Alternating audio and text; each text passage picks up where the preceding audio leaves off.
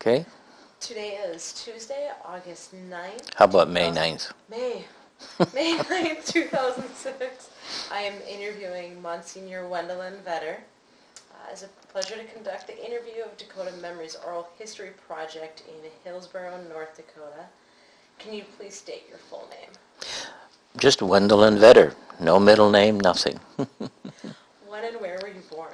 I was born in uh, northeast of Strasburg at uh, what they call uh, Sacred Heart, Rosendahl, uh, about nine miles northeast of Strasburg on a farm in October 5th, 1933. Did you ever hear any stories about your birth? No, didn't hear any about my birth. Okay. Um, can you share some of your earliest memories that you have? Well, we moved from Strasburg over to south of Napoleon in 1935, so I would have been a little over two years old then. And I remember um, we was a farm two miles south of where our home farm was, uh, which was 15 miles south of Napoleon, straight south. And I was trying to give little chickens a ride on my red wagon, and they wouldn't stay on. So I finally wrung their neck and put them in, and came up with the to the house to mom and says, "Mom, look, they're in the wagon." You know, they were all dead. uh, so that's one the earliest ones. Um,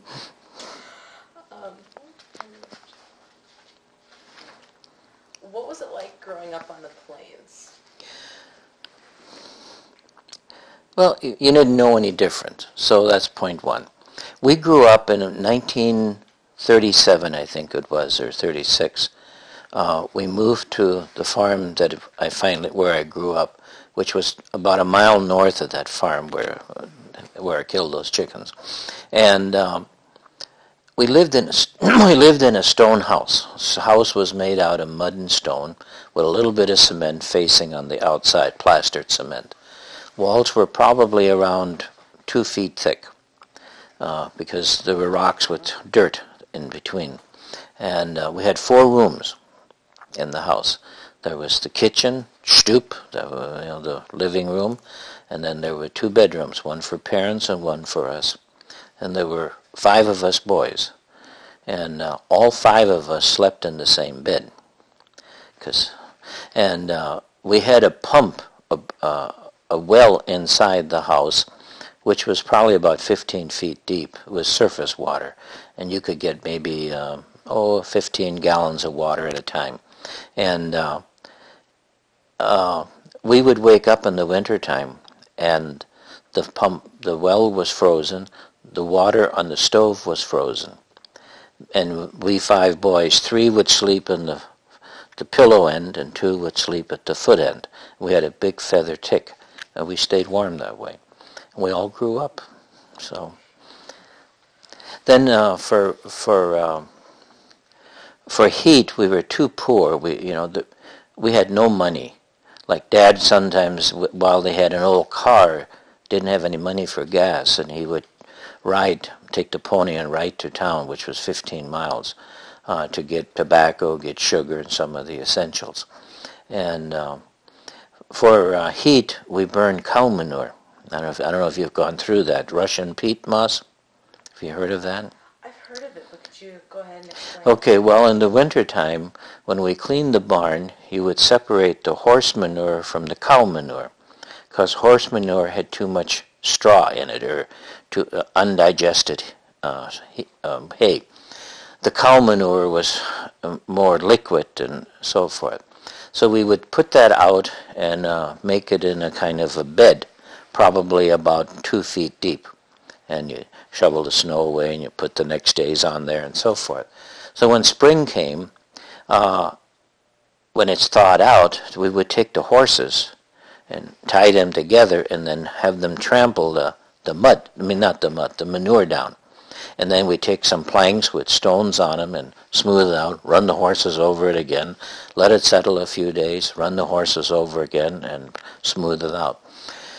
Then when it dried out somewhat, then we'd take a spade and we would cut that manure. And it would be cut, oh, probably uh, about 12 inches wide and 6 inches thick. And, you know, the height would be probably about 12, 15 inches.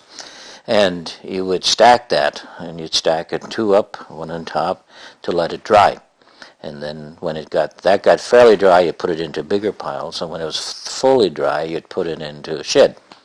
And uh, that's what we burned in the wintertime. And of course, at night when you go to bed, you stop put the put that in the stove, but it would that would only burn about maybe an hour or two, and then it would be out. And so in the mother, in the morning, it'd be very cold. I would imagine so. Yeah. The disgusting thing about the manure was, you know, when we cut it, there were these maggots in there. They were about the size of your finger.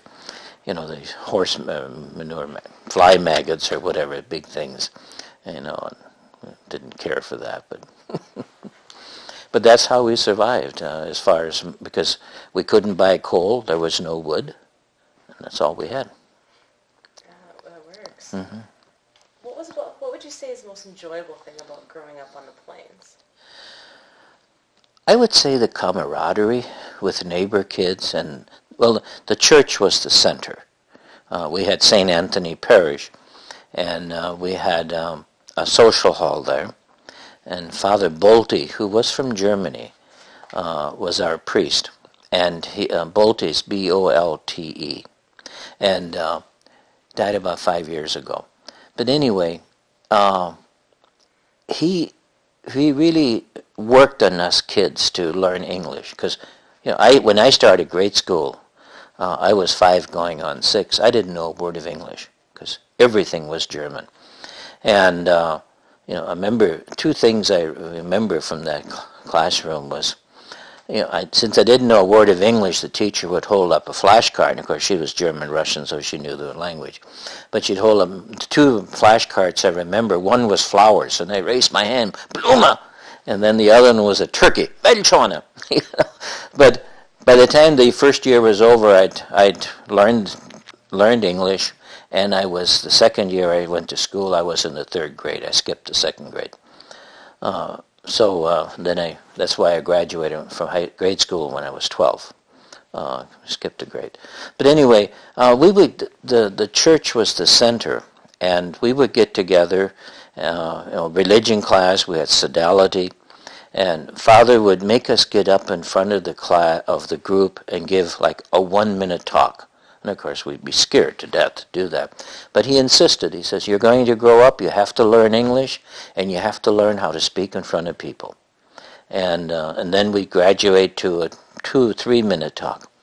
Then to get us more out in the open, uh, we would put on three act plays, regular full length three act plays.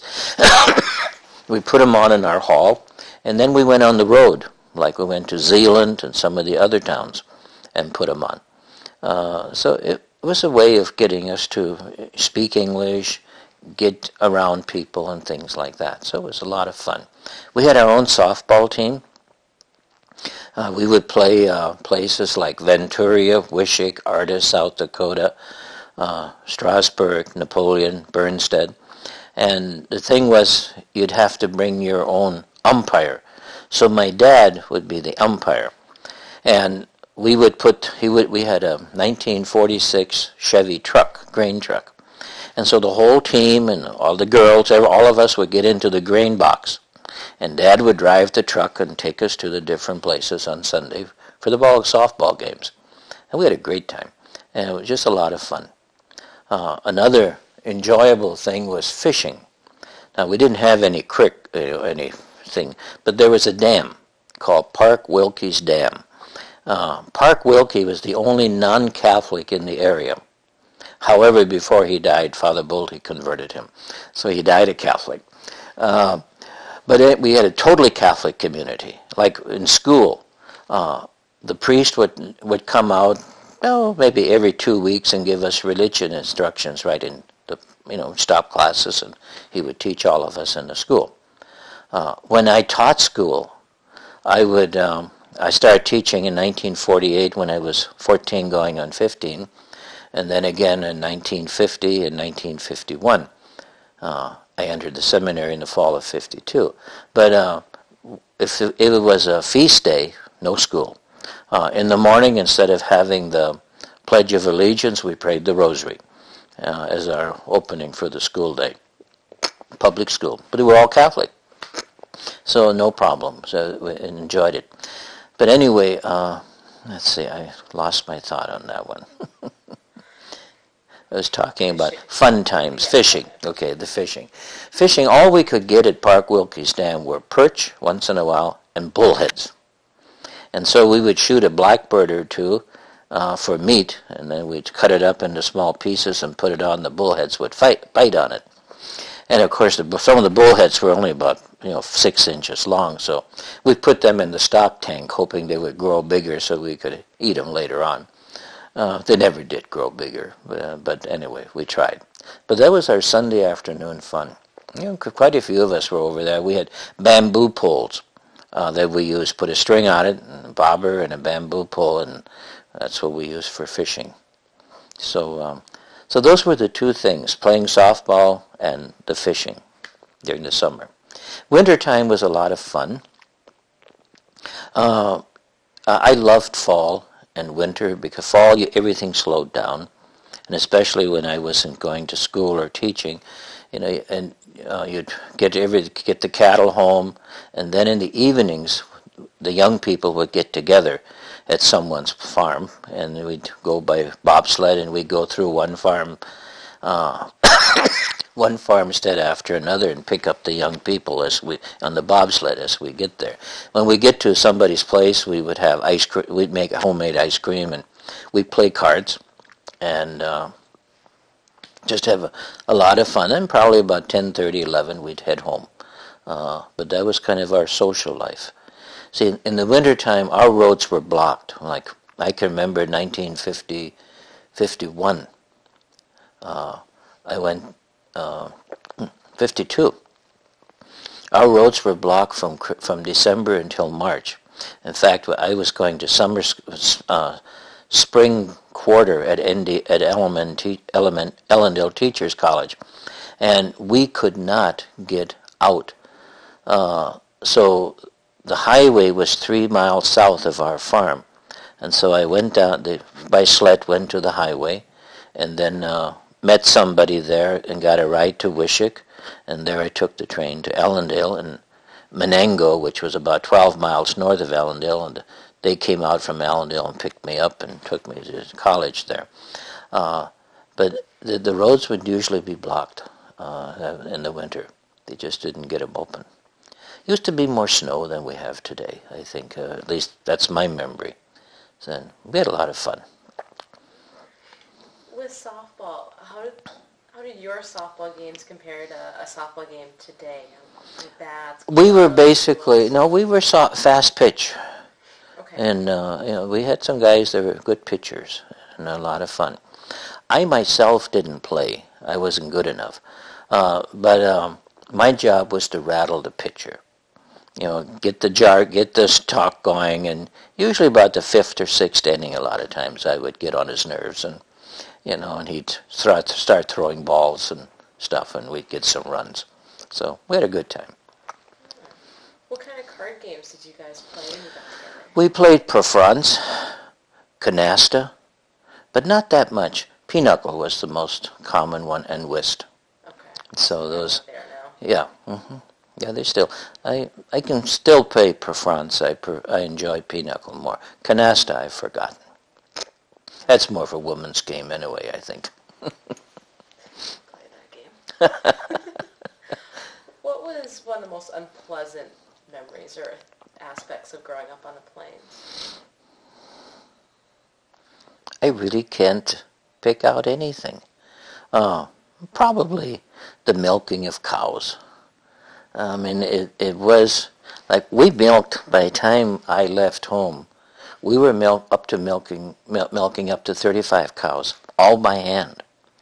And you know, and especially in the wintertime, you know, the cows would be in their stall, and some of the most unpleasant things was sit there milking, and she'd swish her tail, you know, soaked in urine right across your face. Uh, that was not pleasant, you know, and try and clean it off. But uh, other than that, it was pretty good. Uh, tell me about your family. Let's start with your on your mother's side. Okay, my mother's side, uh, grandpa was John P. Schumacher, and grandma was Julia Geffrey. Grandpa came, grandpa came over as a two-year-old from Russia, about 1892-93. Uh, as a young man, he helped build the railroad from Pollock, South Dakota, over to Zeeland and over to Strasburg, that area. Uh, grandma came over also about the same time as a two-year-old girl. And uh, they settled, their parents settled right by Zeeland. Saint, uh, the church they went to was St. John's Church about five miles north of Zeeland, which was, that was the mother church of that whole area. It's burned down now. It's gone. But um, Grandpa was a good farmer, hardworking. On, on my mother's side, there was no play. They worked very hard. Uh, my mother, my mother was one of ten children. Uh, the oldest one was Sebastian, then Magdalene, Catherine, and mom was fourth, and so on. Uh, and mom had to work like a boy. Uh, she she was a she was a farmhand, and so she never learned how to cook. When she got married, her in-laws had to teach her how to cook because grandma did all the cooking, and she never worked in the field because mom had to work out there with the with the men. Uh, grandpa, as I said, grandma. My first, my mother went to grade school. She got she got as far as the eighth grade. Never passed it. She didn't make the test. Those days, you had to take a test to pass, and she didn't make that. Um, but the nice thing, Grandpa Schumacher, he um, he gave each of his ten children when they got married two quarters of land. He bought them, each one, boys or girls, didn't make any difference.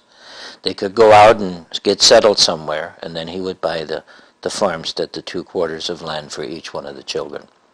So, uh, so he, he was successful, but they worked hard. On the Vetter side, now, Grandpa's address was Venturia, although halfway between Venturia and Zeeland. Uh, Grandma Schumacher, Grandpa. And uh, on the Vetter side, um, that was John J. Vetter, and his wife was Magdalena Unser, U-N-S, U-N-S-E-R. And uh, they came over from Russia in 1898 with one child, two weeks old. They left Russia when Uncle John was two weeks old, and they were a young married couple. And they brought along Grandpa's sister, I think her name was Marianne. But anyway, she was blind. And so when they came to Ellis Island, they were held up for a while because they weren't sure they were going to let her in. And so Grandpa, they had to sign papers that they would be responsible for her care, that she would not be a ward of the state. So they came over and settled uh, northeast of Strasburg there at Sacred Heart, Rosendahl. And um, they had about 10 children also. And, um, but they were more on the music, the Vetters were, the, were on the musical side. Uh, they sang, they, they, they played, not so much instrument, but just singing. Uh, they enjoyed life, getting together, singing. Whenever they get together, they'd sing German songs and stuff like that. Whereas that was not on the Schumacher side. Schumacher was, you work. Whereas the Vetters, you would work, but you also played. And uh, however, none of us kids picked up. You know, Dad was a good singer, a beautiful voice, but none of us picked it up. We were all like the Schumachers more, on that sense. Um, let's see. I don't know what else I can tell you about. Uh, they had about ten children. Two of them died in infancy. One was Peter and one was Rosina. And so when the youngest child they had was again named Rosina. Of that family, only one is alive, Aunt Mary Smith. she lives in San Leandro, California, and she's 93 years old. Still lives on her own. She walks over a mile every day, drives her own car, and everything. I, I go out to see her every year for her Christmas, for her birthday, which is on February 3rd. So I was out there again this past year here. Uh, a remarkable woman, mind as clear as a bell. If you, if you could ever interview her, she'd, she'd have a lot of stuff to say because she grew up, you know, in those days more than I did. Uh, let's see what else. They, they, Grandpa Vetter at one time was rich, was well-to-do. However, in the 30s he lost everything, and um, so they moved to town and they, you know, they just had a subsistence life there, uh, which you know was a tough time. Going back, and I'm the oldest. You want to get into that? Sure. I'm the oldest of. Uh, my mother had 12 children. The first one was a stillborn boy, and then I was born October 5, 1933, and um, then I have a brother Willie who is two years younger, uh, and then brother Mike. He's a year younger than Willie, and then Jim a year younger than Mike, and Dan, Daniel, a year younger than Mike, Dan, Jim, and then uh, Mary Ann, she was born in 41. She, she'd be about two years younger. Then mom lost two girls. One in 43, Pauline. She was two weeks old. She died of dehydration. Those days, you know, you get a fever. Well, we were on the farm, and by the time they got her to the hospital in Bismarck, it was too late. Then in uh, in 1946. Then Magdalene was born in 44. Uh, she only lived a half a day. She was. They were. We were all born on the farm, and uh, she was uh, cleft palate, crippled, and lived a half a day.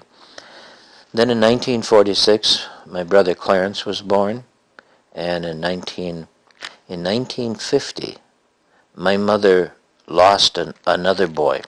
She she was about four or five months pregnant, and it was in March. It was a horrible time. Uh, a storm was coming in. Mom had miscarried, and she was bleeding profusely. And this is out on the farm. We had no phone. So I had to get on a sled and go to a neighbor, which was about four miles away, who had a phone, and call the doctor. The highway was open, but we were three miles north of the highway. So he came out uh, as far as he could, and by horse and sled went down the highway to get him and bring him in. And he said, you know, he's got to get her to the hospital, otherwise she'll die. Well, we were 80 miles from Bismarck, from the hospital.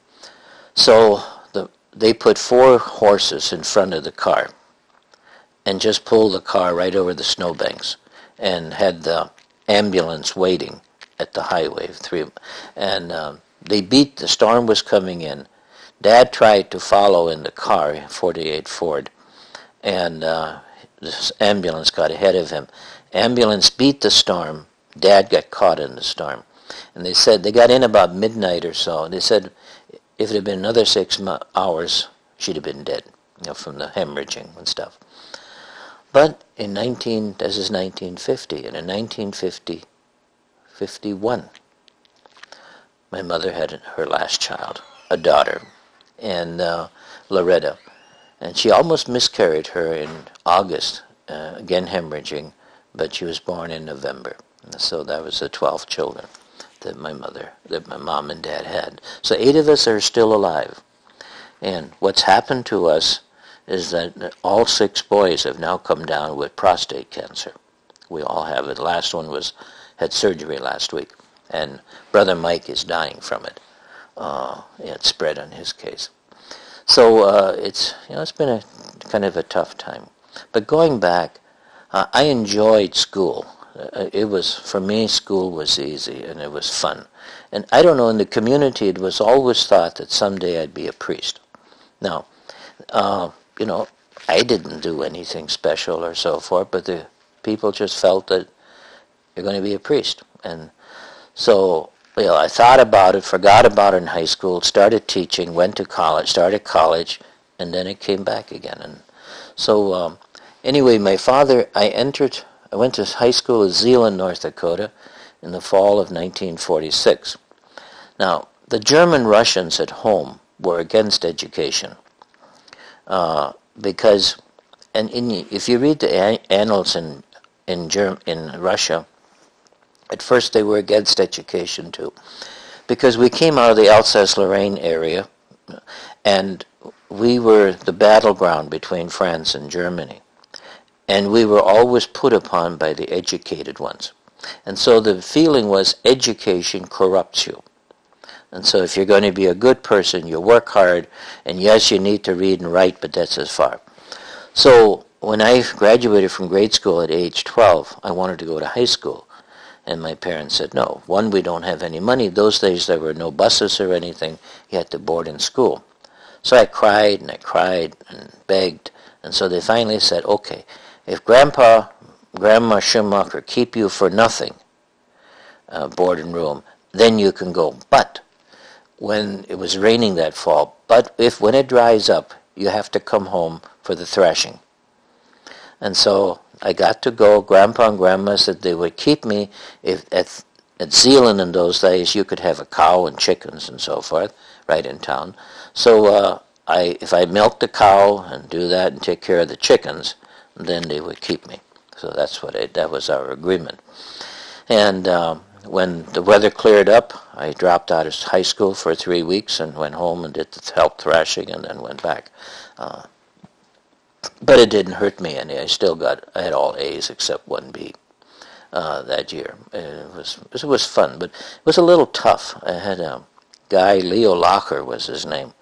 Uh, who, I was 12 going on 13 and, and from Napoleon, so I didn't know any of the kids, and he was the bully and he would just bully me and bully me. And finally, one afternoon, I'd had enough. he was bigger than I was, but I was faster. And I just took him and wrestled him to ground and pinned him. And after that, I had no trouble anymore with him.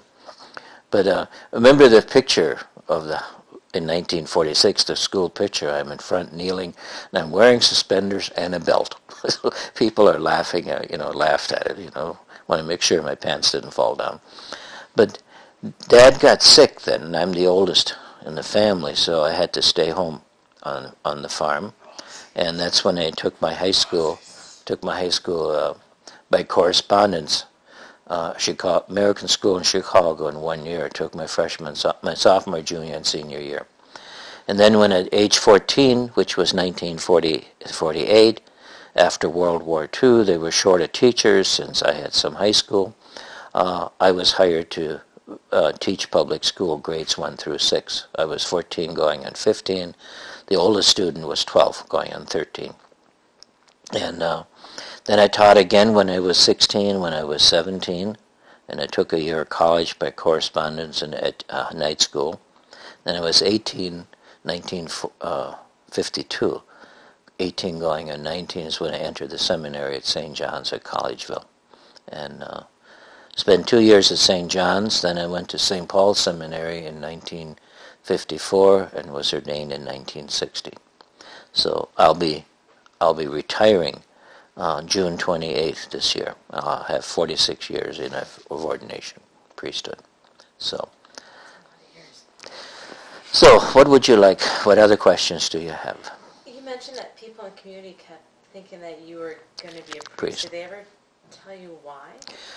I think part of it was they well they saw me as being very brilliant, and I think that's kind of they even picked out uh, a, a, one of the neighbor girls, Christina Brendel was her name. She was going to be my housekeeper.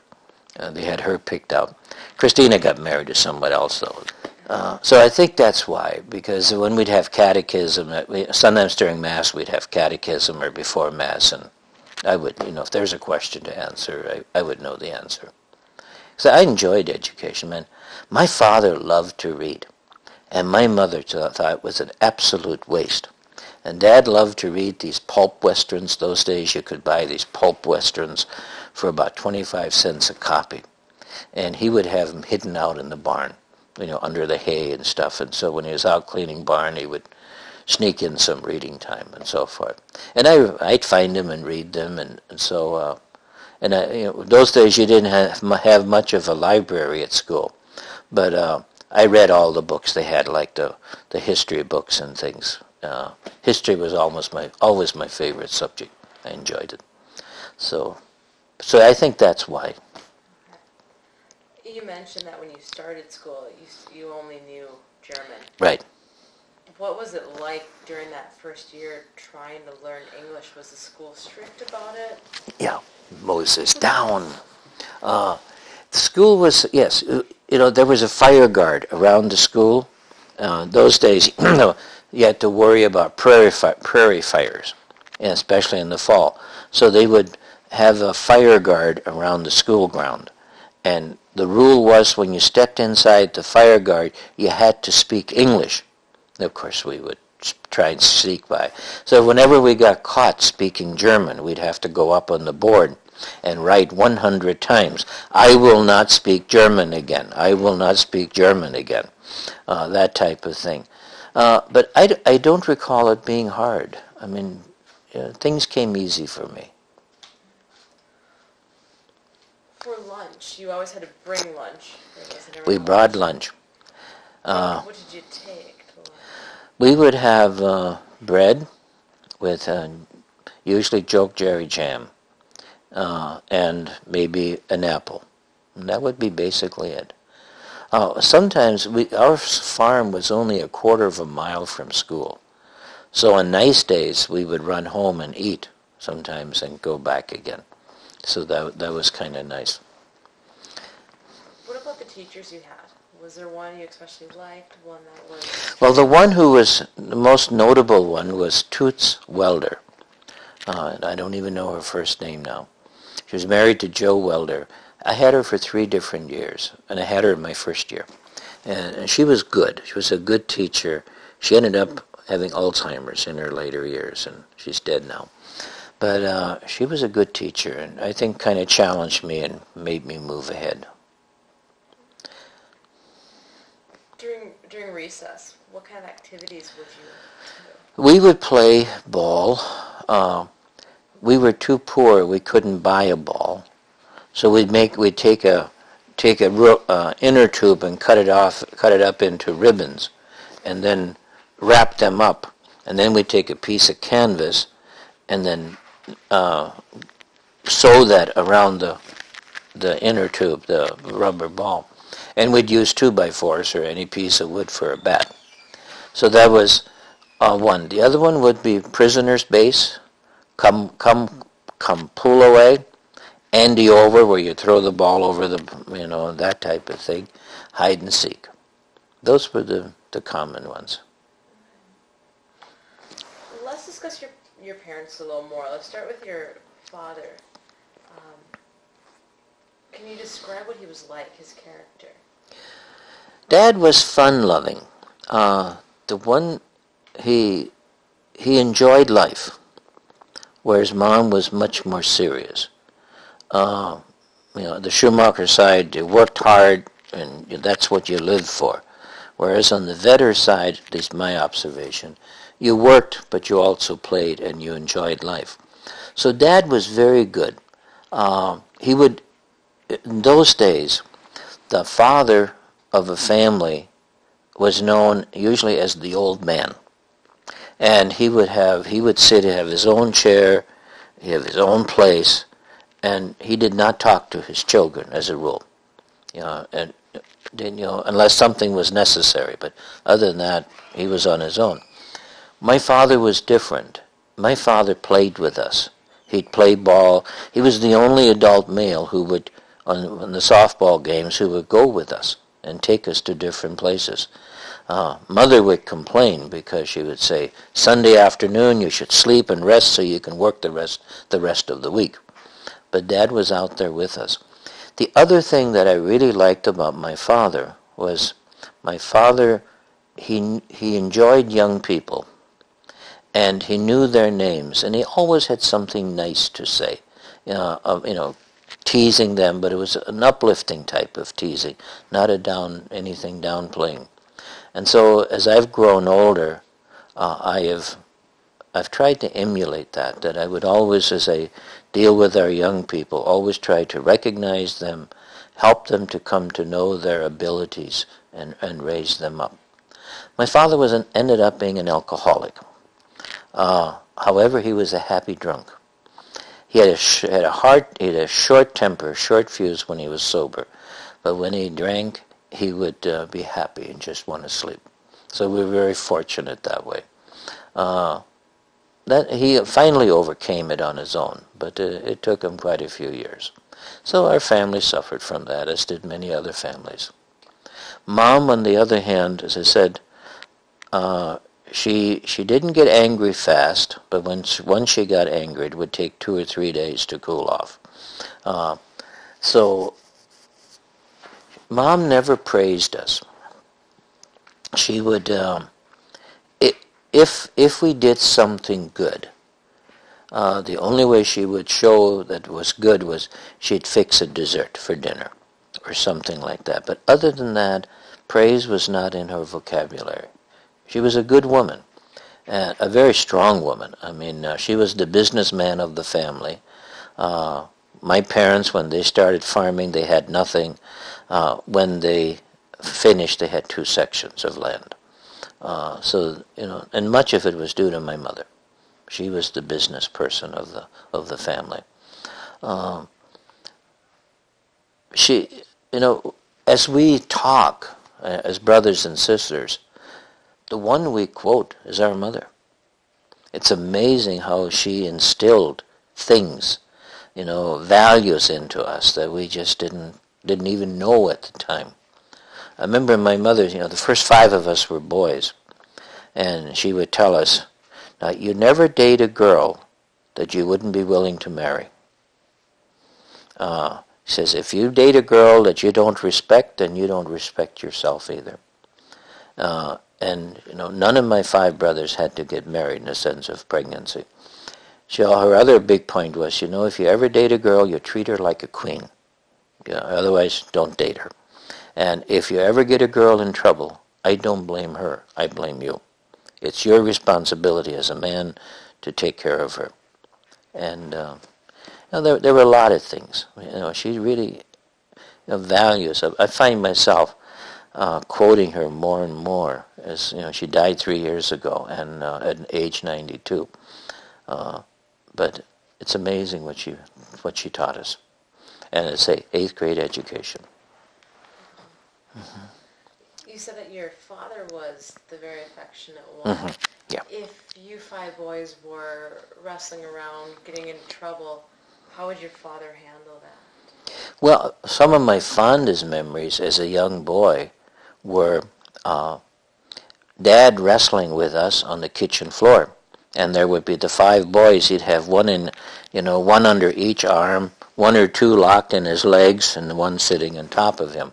And Mom would stand at the stove and just kind of look over and smile. And, you know, you knew everything was okay. So he he was very good that way. Uh, and the same thing like uh, playing ball he used to play ball. He'd you know you show you how to throw the ball and like what plays you should make and that type of thing. So you know again after work in the evening in the summertime he would be out there playing catch with us. Mom would never be around for anything. She was either working or resting. Yeah. So since he played with you more, there oh, yeah. didn't really see those any kind of anger from him. Oh no, no. The anger would be simply something went wrong that's when he would be angry. You know, something go wrong and he'd cuss a blue streak or so. Such but farming equipment. Farming or equipment or cow got out or something like that. But other than that, he was, you know, he's he was fun okay. to be around. Was he easy to talk to? Yes. Yeah, and that's the thing that I found again, where he was so different from the other men, because uh, they didn't have anything to do, especially with their boys. And as they they you know they referred they had nothing good to say about their father, and they instead of calling him father or so, the old man. And uh, whereas we called my dad dad, pa, but uh, never the old man or something, because we had a we had a relationship with him. So. Interesting. You said that your parents struggled initially.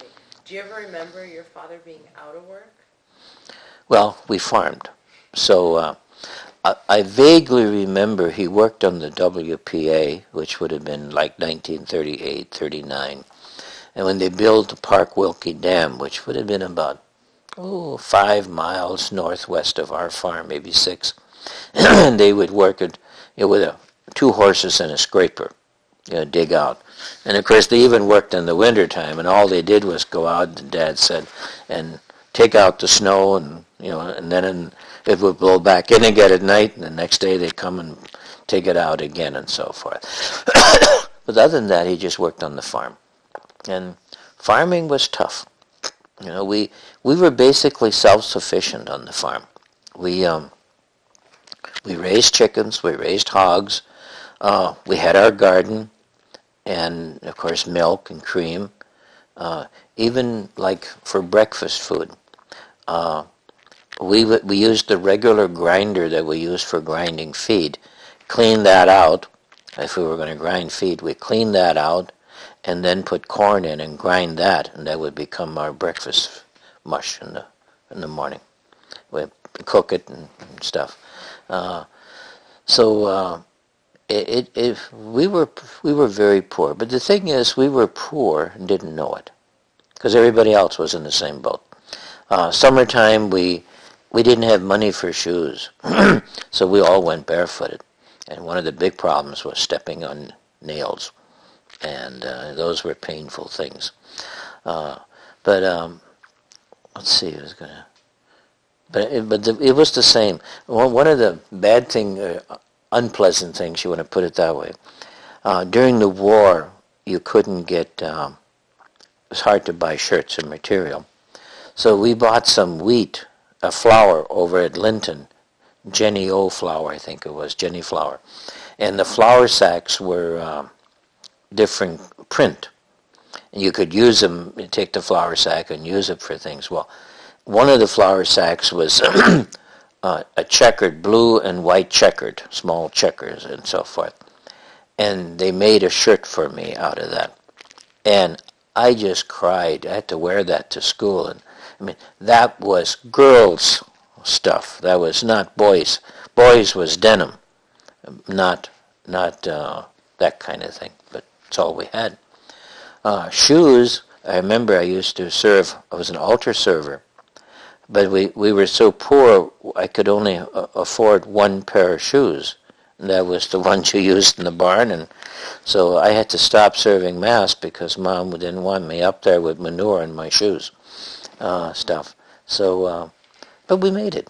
Uh, but it, it, it was, we, we were basically self-sufficient until I would say things got better after the war. Crops were good, prices were good, and they paid off their seed loan, which they had taken out back in the 30s, and uh, life got better. You said that you and your neighbors were all poor. Yep. What role did the church play in it? Mentioned you guys were all, most of you all were Catholic. We were all Catholic. The church was very important because that was the center of our activity. Uh, everything revolved around the church. We had a little store by the church run by uh, Daniel Kuhn. Uh, Daniel Kuhn's great, is it great or is it granddaughter? Big granddaughter. His sister Teresa Welder at University of Mary. And he ran the store by, uh, and uh, so that's where we got our, you know, after church we'd go over there and get some gum or things, and pop was a nickel if you had it. Uh, gum was a penny. You get a pack of five sticks for a penny and you know go over there. Um, everybody was poor, so you know after church, people would stand around outside for a long time visiting. The men visit, the women visit. Kids would be playing tag or running uh, around. then um, after the war, Father uh, Bolte, we had that hall. We had built that, and uh, Father Bolte got a film projector, and we would run full-length movies. So every Sunday evening we'd have a different movie, and you know pay maybe 15 cents or something to, just to pay for the movie, and um, you know, remember like the Song of Bernadette and some of those, uh, but it'd be full feature-length movies, uh, three reels. And uh, so, so we had our own community, even though I am, will say I'm from Napoleon, but I really never got to know the Napoleon kids or anything because we had nothing to do with them. We, we were St. Anthony's. Uh, so we stayed together. And I, I went to high school in Zeeland one year, so again, I didn't. No, my younger brothers went to Napoleon High School, and so they got to know the Napoleon kids, but I didn't You've mentioned your your mom having several different roles that she did. Could you kind of go through and list all the kinds of work she did? Well, mom, mom was uh, she was used to outside work, and so um, she did a when she was she did the work of a man outside. Uh, my job, being the oldest, was I would have to stay home and uh, watch the kids, like when I was six, seven, eight years old, watch the kids while mom was out in the field working with dad. Uh, I would have to fix meals. Uh, we'd, you know, peel potatoes and fry them and things and uh, cook the sausage and stuff. Uh, scrub the floors, get down on your hands and knees and scrub. Scrub. That was my job. I hated it because that was girls' work and I had to do it. Uh, but mom worked, so she was a good. Uh, she she worked hard, and most of her work was outside. She she enjoyed outside work more than she enjoyed housework.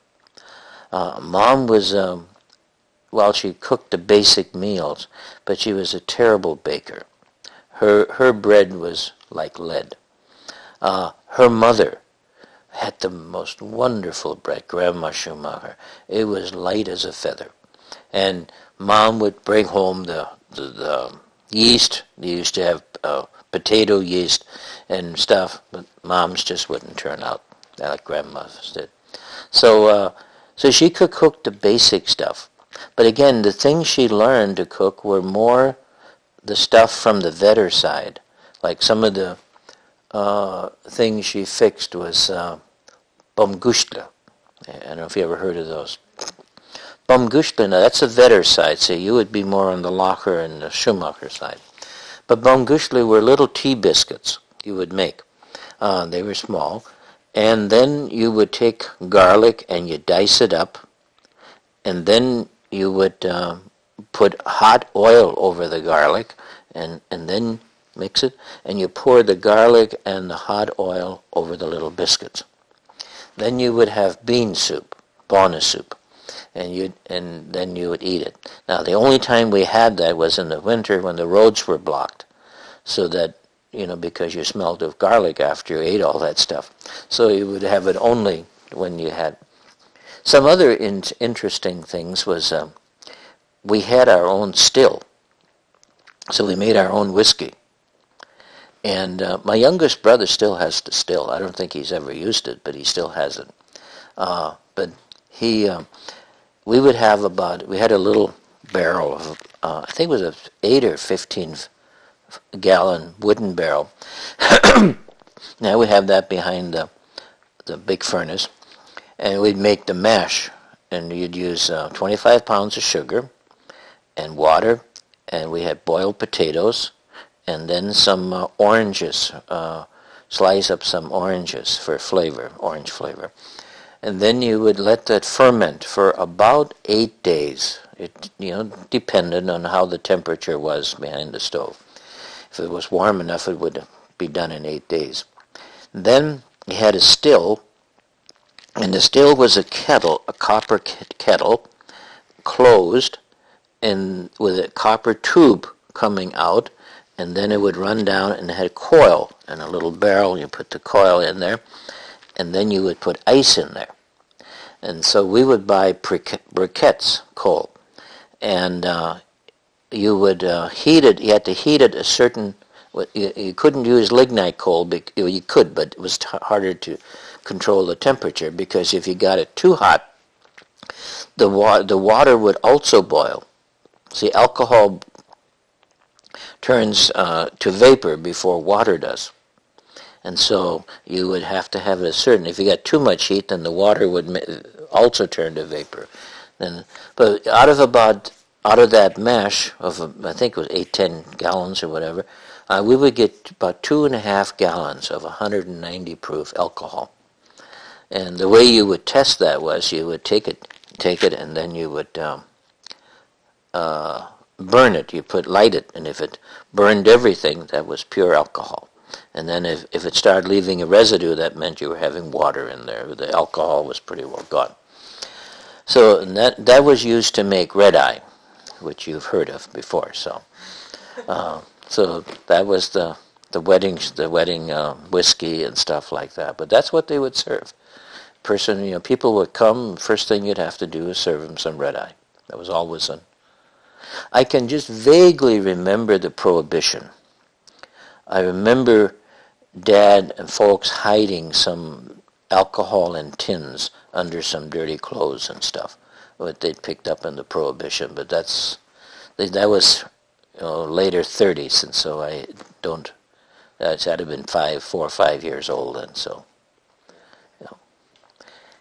Now, your mom and dad came from such different families can you tell me how they met? You know well, you know, I just talked to my brothers about that, and um, because mom never talked to me about it, but brother Jim told me about that, and uh, actually they had seen each other, I think, only about four or five times before they got married, uh, because dad was from over in.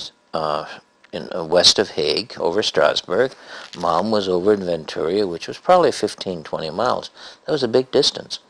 So I'm not sure, but somebody, you know, kubbeled them, um, got them together.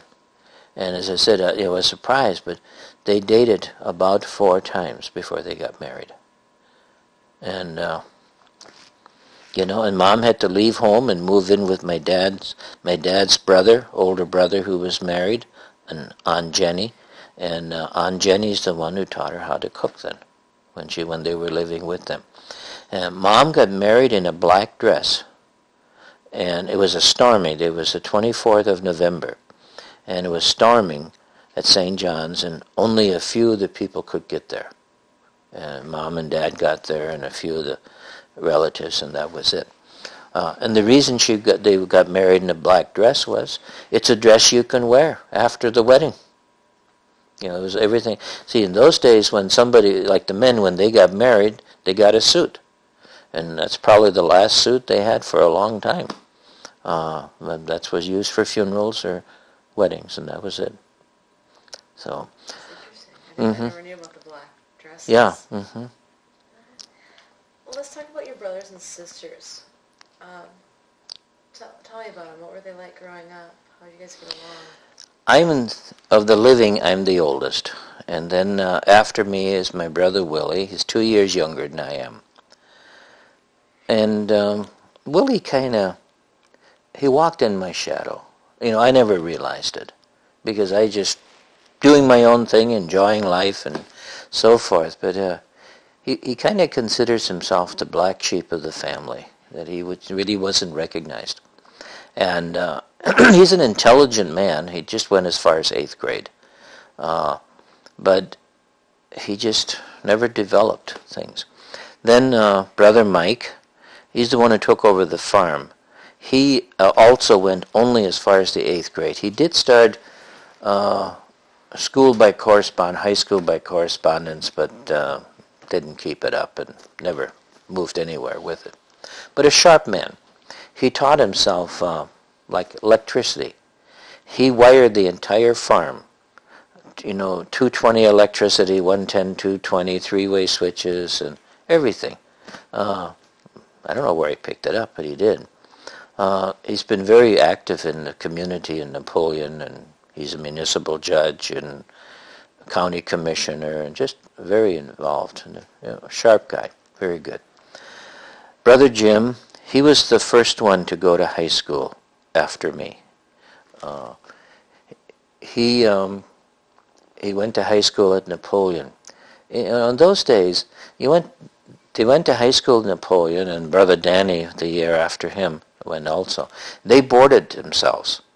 uh, what they would get is, is get a, a bed uh, basement room, and they'd have to fix their own, have their frying pan and fix their own meals and stuff. You know, things we wouldn't think of doing. And here, these high school kids living on their own, and uh, no no adult supervision or anything, and they made it. Uh, he he went on. Um, Jim went on and went, got uh, finished high school, went into the guard, taught school, went to graduated from Ellendale Teachers College, then went on got his master's from NDSU in education. He just uh, retired two years ago from superintendent from education. Then the next one was Danny. Danny was the fifth in line of the boys. And kind of the way it was, I was the one in charge. So if something needed to be done, I would I would tell Willie. Willie would tell Mike. Mike would tell Jimmy, and Jim would tell Danny. Danny couldn't tell anybody, so he would just run off the mouth uh, and stuff, or kick the dog, or so forth. And even to this day, Danny's mouth runs. Uh, you know, nice guy, but um, he, he was the he was the talker and so forth. Uh, he he left home when he was he finished high school in Napoleon, then went to Brown Institute in Minneapolis for telegraphy, and became a those days station operator for Sioux, Soo Line. Of course, when that died out, he uh, got into full-time guard, and, and that's kind of what he's done. He's retired also now. Uh, Marianne was the next one and Marianne was born in 1941. She left home when she was 12 and went to Hankinson as a candidate to become a nun. Uh, she went to high school there four years. Uh, they would get to come home during the summertime for I four or six weeks. That was it. Uh, don't do things like that anymore. But anyway, she did become a nun, and she was a, in the convent for about, I would say, 12, 13 years and then left. She's married and lives in Grand Forks, and she's like she's kind of since mom died, she's become the mother of the family, keeps us together, and and her basic job is looking after me. Uh, she's the one who makes sure I do this and that, uh, that I retire and do all the things. But anyway, we get along very well. Then the next one is Clarence. Uh, Clarence Clarence uh, went to high school in Richardton for two years. First two years was kind of uh, thinking about priesthood, but uh, it wasn't his calling. But Clarence will be ordained a deacon in two weeks, uh, a permanent deacon. Uh, so he's kind of getting in the back door, kind of thing. Uh, he was, he was I enjoy him. He, he and I have gotten to know each other as adults because when I left, he was six years old when I left home, and uh, so we've we've gotten to be an adult, and probably we get I get along with him better than all of my other brothers, Clarence than Jim, and so uh, we do a lot of con- back and forth. Uh, Marianne, oh, going back to Clarence, uh, he finished high school at Napoleon, and um, uh, going back to Danny, Danny was a talker and he wasn't the best student. And so, you know, he was getting no A's. He got down, down, and no A's. So he convinced mom that Napoleon doesn't give out any A's. We've laughed about that, and mom laughed about it afterwards too. But, but that's the kind. Danny was a good talker. But um, Clarence finished high school then he stayed on the farm, take, working on the farm, thinking of taking over the family farm. He met his wife, Betty, uh, and she didn't, even though she grew up on a farm, she didn't want to be a farmer's wife. So he'd been farming for two years, and then he decided to go to college. So he called me up and said, thinking of going to college, where should he go? I said, well, I'll tell you two places not to go, NDSU and UND. I said, uh, they're too big, you've been out of school too long, uh, you get in there and you don't get the personal touch. I said, go to a place like Valley City or Ellendale or Mayville for a year or two. Then you can transfer to the big places. Well, he went to Ellendale, went there two years, and then went to Valley City and graduated from there. And um, he's had a, you know, a lot of fun. And he, he graduated with a minor in German, major in math. And then uh, he taught a year at Shanley, then went into truck driving, made twice the money driving truck that he did being a teacher. And it was that for a number of years. Then he went back at UND and got a degree in computer programming. Did that for a while. And then that kind of petered out, you know, companies would hire a computer programmer, well, you buy things off the shelf. So he then went back to UND and got a degree in accounting and got his uh, degree and went, went on got his, um, oh, what do you call it?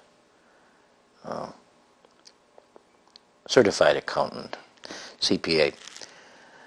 And now he's working for Dome Pipeline, watching the pipe. Uh, so he's had a great education and stuff, but he, he's a lot of fun. He's the kind of guy we go fishing, and while we would unload the boat, he'd be out there talking, and within a half hour he'd have all the gossip and everything that's going on in the fishing village. He would know.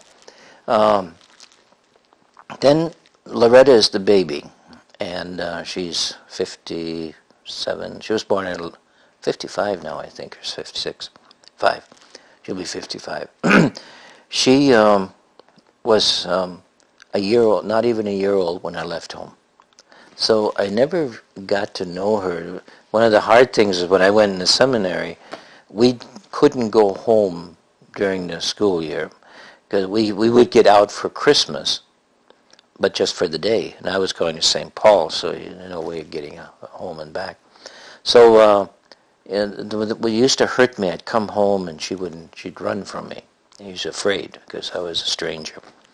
And when I was in the seminary, I deliberately chose different jobs, summer jobs. Like in 1953, I worked in the iron mines in Hibbing, Minnesota, doing scramming cleaning up the war.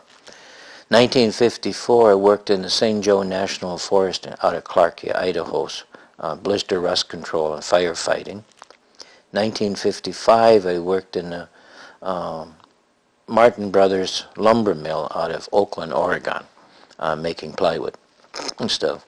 I deliberately picked jobs in the summer to give me different experiences. I thought because as a priest, I grew, I've grown up on the farm in central North Dakota.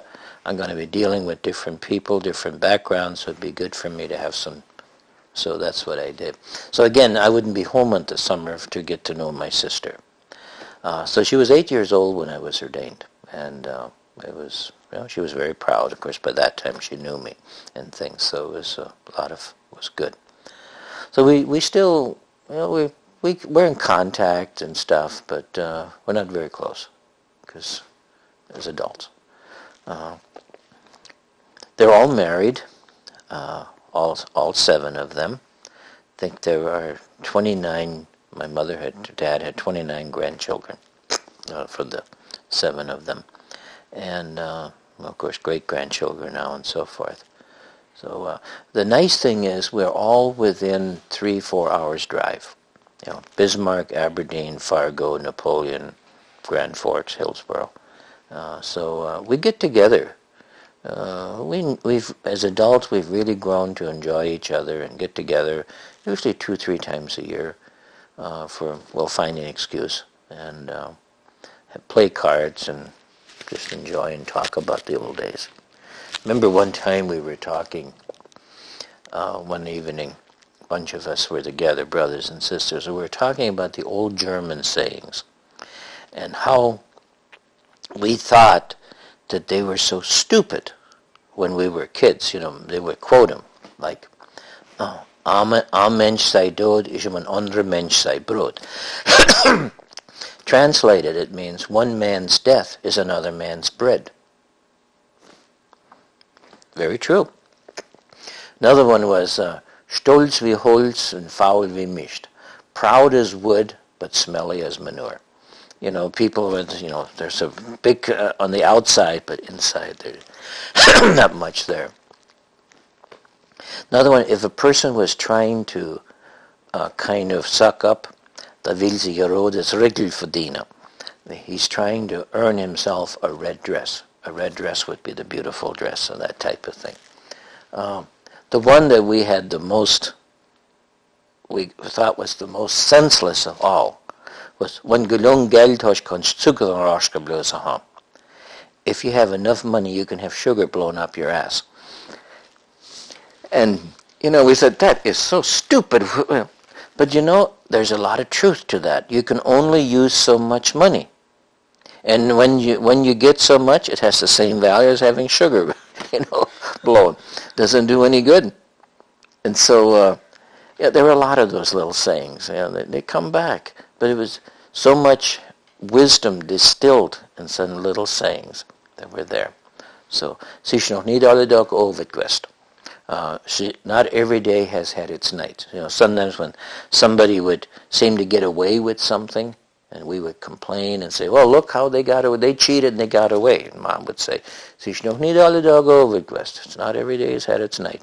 And, you know, as history has shown, those people, because we had one neighbor, they would cheat uh, with their hail insurance. They would harvest their crop, and then they would leave a little strip standing, uh, not much, but a little strip.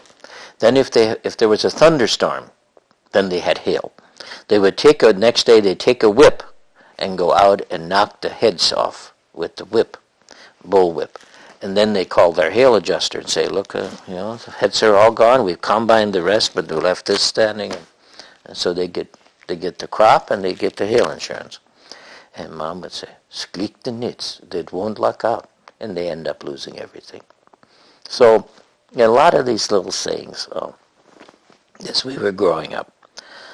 So, I, you know, the family, we, as I say, we enjoy each other. You know, there's some of us who enjoy each other more than others, but what I like about the family is there's nobody who says, well, if so-and-so is there, I won't be coming. We, we all come, and we have a good time. With all these German sayings, did even the younger ones grow up learning No. German? They- Nephews and nieces don't know it. What about your younger siblings? Oh, all of us. They Yeah, all- yeah, they all know German. and spoke it. continue speaking at Yeah. They did until, I would say, mm, early 60s, middle 60s. But even when after I was ordained, go home, we'd speak German. But the amazing thing was, and we were just talking about this the other day, my mother, uh, as she got older, you know, mostly the older people, if they got older, they spoke, they reverted back to German. And my mother, the older she got, the more English she spoke.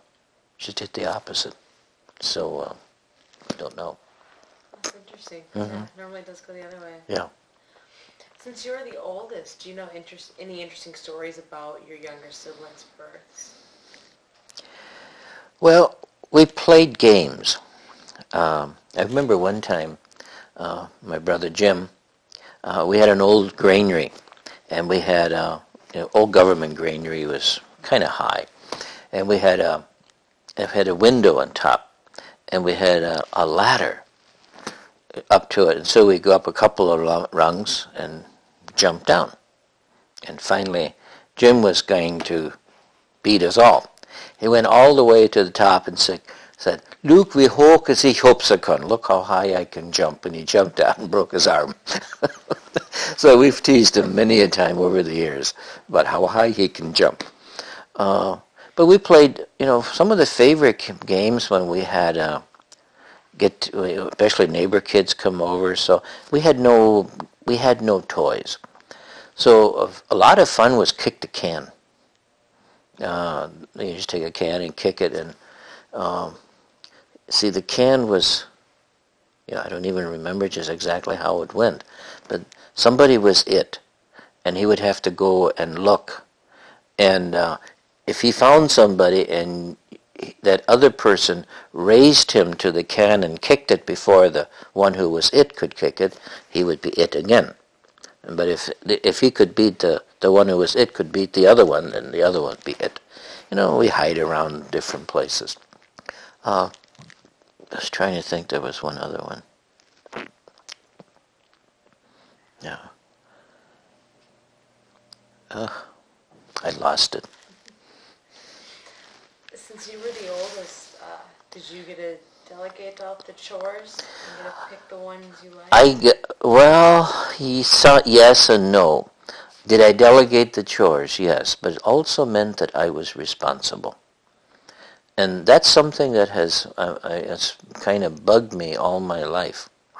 Um, is I never, you know, I never had a childhood. You know, like started high school when I was 12, teaching when I was 14. At age 12, I did a man's work. I mean, um, my dad was sick.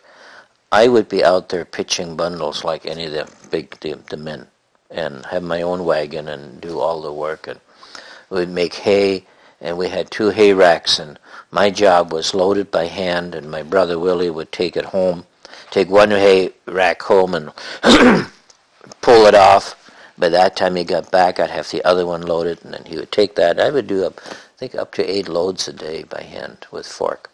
Uh, I was very strong at, uh, at that time, and um, so. But the thing was, my it was you know my brothers would do something wrong, they'd fight or they'd do something wrong. I got blamed because my mother would say, Du bist der Älteste, du watcha. You're the oldest, you should have watched them. And so, even as I've grown up, I, I find criticism hard to take or have, because when I get criticized, I would kind of revert back to being that eight-year, nine-year-old boy, and all I'd hear is, "You should have done this. You should have done this," type of thing. That's I'm, I'm better at that now, but I've had to work on that uh, and getting over that. So yes, I, I was uh, I delegated, but uh, I I think I was fair with them.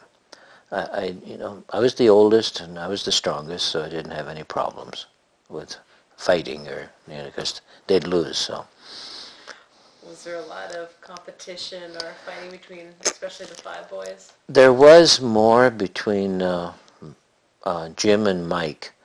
Uh, Jim was a one week less than a year younger than Mike. Uh, his birth, and uh, and he was bigger than Mike. Jim, when he started, when Mike was six, they started school. Well, mom, Jim was as big as Mike, so Ma said, "Do konchage, you can go too." So Jim went too. Jim didn't, he couldn't learn to count to ten that first year, or say the ABCs beyond F. And we thought, oh my gosh, we got a dumbbell on our hands. And so he flunked the first grade. Next year he went, you know, sailed right on through. He wasn't ready for school. And he, you know, we tried, when he was that first year, and say, uh, we try and teach him. Yeah, Ma sagt, ich muss nicht lernen. Ma says, I don't have to learn. And so he didn't. But after that first year, he was, he was doing well and got along well. We older ones taught, especially like myself, taught, uh, taught the younger ones. It's you know at home for homework at night, teach them how you know go through their reading and help them with their math and stuff. I generally didn't have any homework because I got it easy, so it went easy for me.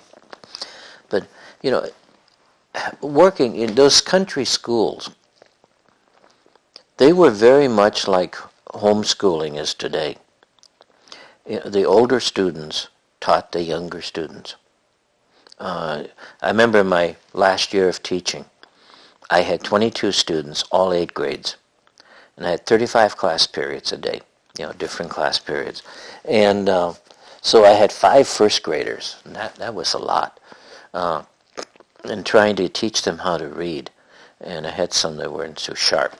But uh, the older girls, like the seventh, eighth grade girls, they would take them aside. They would work with them uh, to help them, and so and that's kind of what homeschooling is doing. Homeschooling teach the older ones teach the younger ones, and there's a kind of a respect there. And we had that in the, I think, in these rural schools because I, I remember when I was teaching, I thought, oh, how lucky these town teachers are.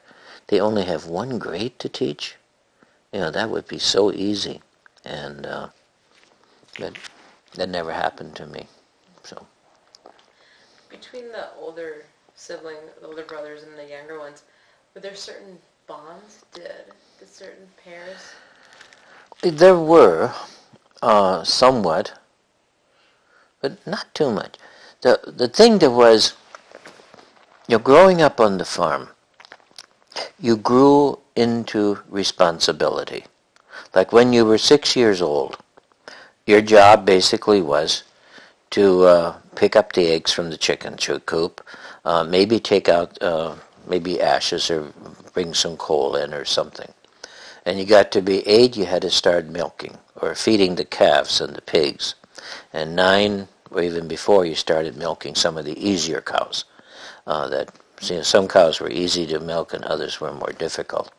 And uh, so,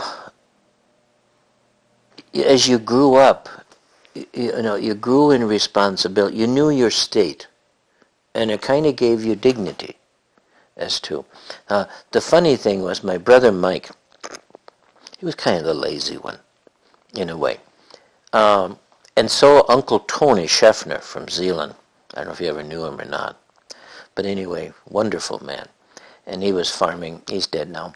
But um, he came and he needed somebody to drive a tractor, and Mike would have been about maybe nine years old at that time. and so he wanted to know if he could have one of us boys. So Ma said, well, if the boys agree, you can have one of them. So we sold Mike for a dollar twenty-five each. Uh, it was to Uncle Scheffner, Uncle Tony. And Mike got to be the, the tractor man. So when he would come home, you know, we'd be bucking hay and stuff or doing some. Mike got to drive the tractor. We were the grunts with the fork and doing the work like that. So he had one up on us uh, on that. So uh, you know, that was always. And Mike hated milking. He, with a passion, he hated milking. Then when he took over the farm, you know, uh, he'd milk and say to mom, "Melich de bula." Are you going to milk the cow? The bull? Are you going to milk the bull too? You know, and uh, he hated. Then when he farms for himself, he becomes a dairy farmer. uh, so the tables got turned on him. But uh, so Mike was kind of, and Willie, the one after me, uh, he hired out to the welders, and so he was kind of on the outside. Now, one of the rules we had in our family was if you work outside the farm, whatever money you get goes back to the family. You don't get to keep it. Even when I taught school, I saw the paycheck to, just to sign it, and it went into the family until you were 21. Uh, you got some spending money, but that was it. And my parents is the reason for doing that. They said, well, there isn't enough work for all of you here, and the one who goes away, if works elsewhere, if they get to keep the money, that's not fair because when we quit farming and we die, you all want your share. And so we, we were all required to pay in, pay back until we were 21. Uh, when my parents died, everything was divided eight, eight, eight ways, equally, boys, girls. Because a lot of times girls got short, short shifted on those things. But my parents said no. They all, you all worked, you all get equal. So um, there was some good in that. Because like I started going to dances when I was 14 uh, and went with Alfred and Clemens. And they would get a, you know, a quart of whiskey. And uh, you get the bottle and you sit in the car and, and uh, you, know, chuck-a-luck, uh, so forth. And they had money to buy. I didn't. And so I would be in the back seat and I would put it up there. They never look how much you drank. And to put it, keep it there and then give it back. You know, they'd get drunk and throw up. I, I never, never had that problem. But, uh, but I think not having money, because they got money and they wasted it. So a lot of the neighbors got to keep their money, and sometimes we complained to parents, well, why can't we have our money? We earned it. But their point was, no. Uh, so like, like when I took my American school, Chicago, I had um, $35 I'd gotten back from income tax from from working. And um, the guy came, was May 30th, 1948. He drove into the yard, and uh, I'd written in back in November want, inquiring about it. And he came May 30th, and he, uh, we talked and talked, and finally, Ma said, no, you're not going to finish it anyway. It's a waste of money. It was $174 for three years of high school. Textbooks and stuff. So uh, he said, well, you can pay $25 down and $10 a month. So folks said, well, if you make the $25 down, we will pay the $10 a month. And I had that $35 saved up, so I paid my 10, $25 down, and that's how I got my high school, and they paid the $10 a month. Uh, how did I get on that? Not having as much money. Yeah, so I, that's all money. That's the only money I had. You know, uh, it, we were very frugal, uh, but it, it, worked out for our family, and, and all of us. And it was true for all of us that uh, we all turned it in. You know, like Brother Danny, he probably made more money than any of us because he got into the railroad and things. But he had to pay his, send it in too. I mean, he got to keep a certain portion to pay, but other than that, so it worked out well. You've mentioned one of the good memories you have is the community that you grew up in. What other kind of activities did you get together for besides softball games and church? Well, uh, I t- talked about the winter times. They were fun. Uh, where we would, you know, get together, play cards. You know, sometimes you'd have, you'd go four, five, six miles, and as you go each one's farm, you would go through, and uh, uh, pick up the kids and go, and then we get there, you'd make the ice cream, play cards, and have fun. And then you come back home and drop them off. Uh, that was a lot of fun. There was a lot of camaraderie and, and things like that. One of the things I remember one time, that's when I was teaching. Uh, we went through one of the students' farms, farmyard, and there was was quiet. So we went into the barn, and we took the horse's harness and harnessed up a cow, and then fled. He never he suspected who it was, but he never found out. so, you know, next morning he gets out and look, a cow, she's wearing a harness. It's quite an image. yeah, we had harmless fun, you know, things like that. We never destroyed anything like the things you see nowadays, the destruction. Yeah, that was not true because people work too hard for things to destroy. So um, Did your we went to dances, um, and that was a lot of fun. And you would, uh, if you took a girl to the dance, the rule was you would dance the first dance with her when you came into the dance hall. You would dance the intermission dance, which would be about 11.30. There was an intermission dance. You dance that one. Then you would go out for coffee or something at the cafe or things. Then come back. They'd start up maybe about 12.30. And then 12 at 1.15 they'd play the Home Sweet Home dance, and then you dance with her. Other than that, she was free to dance all night with other guys, and you were free to dance with other girls. You weren't staying together.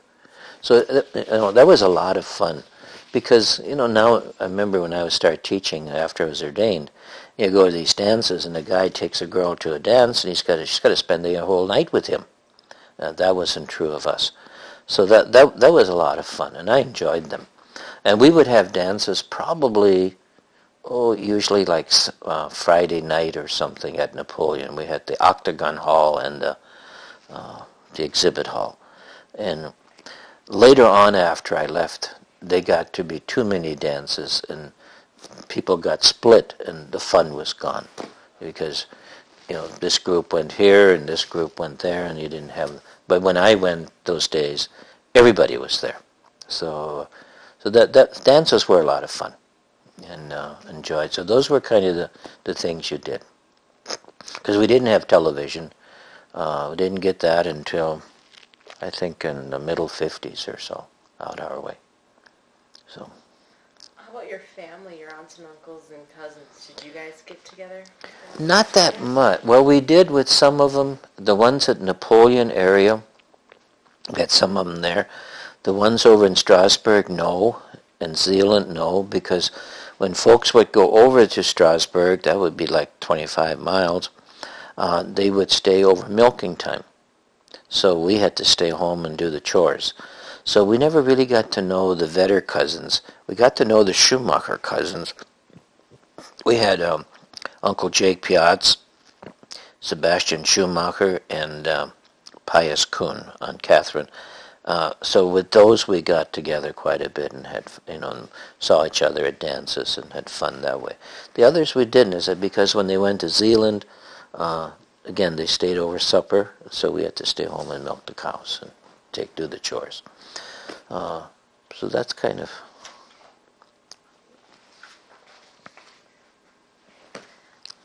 For religion, can you tell me about Names Day celebration? Yeah, well, I'll go back. We never celebrated birthdays.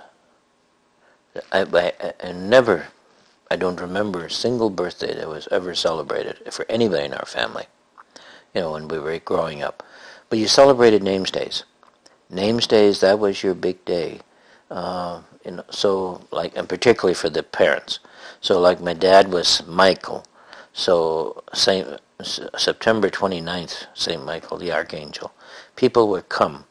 And there would be a big meal, usually come in the afternoon, and sit around and talk and stuff. and then the evening, and then do some, have some drinks and stuff. Um, the other big feast day was the church feast day.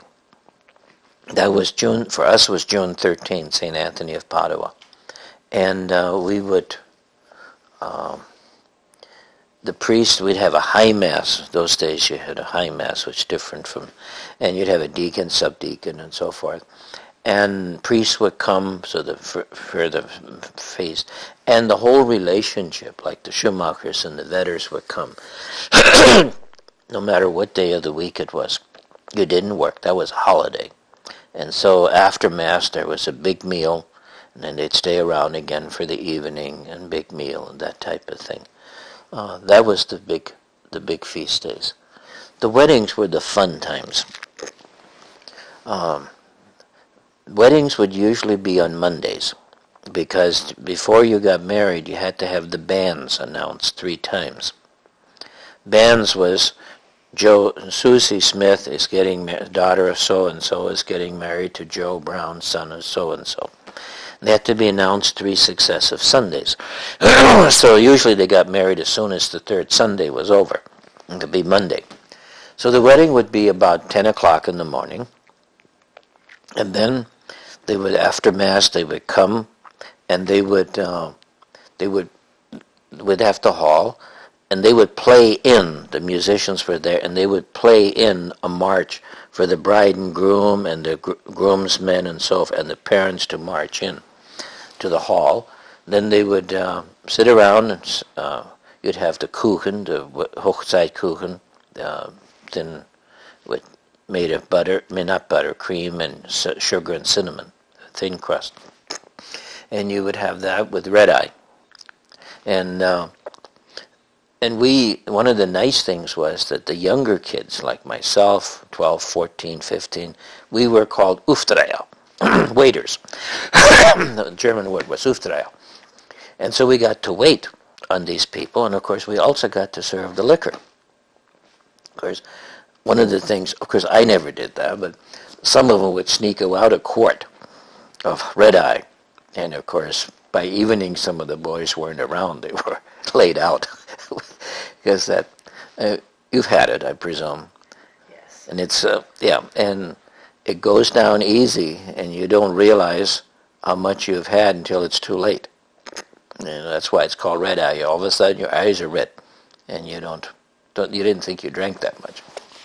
So, uh, but we would wait on tables at uh, at noon. Then they would dance during the afternoon, and then there was supper. Now, the immediate relatives were invited for the noon meal. Then, usually around 6, 6.30 would be the supper. There you would invite the dist- more distant relatives and neighbors and so forth for the supper.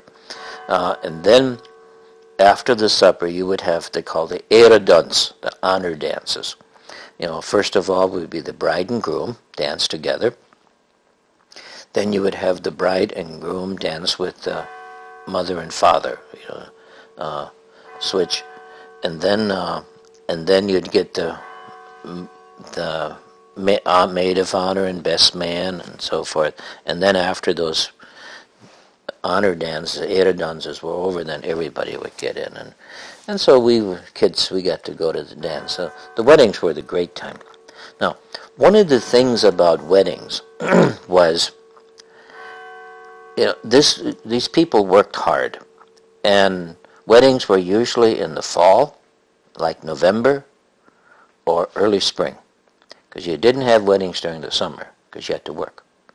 There wasn't time for a wedding. So at a wedding, the, you know, you, as a, some of these people worked hard and they didn't get along well with their neighbors. You know, sometimes. So you could get drunk. And then as you were drunk, you could go over to your neighbor that you didn't get along with and call him all kinds of names and, you know, kind of stuff. And, and of course, people say, well, he's drunk. He doesn't know what he's saying.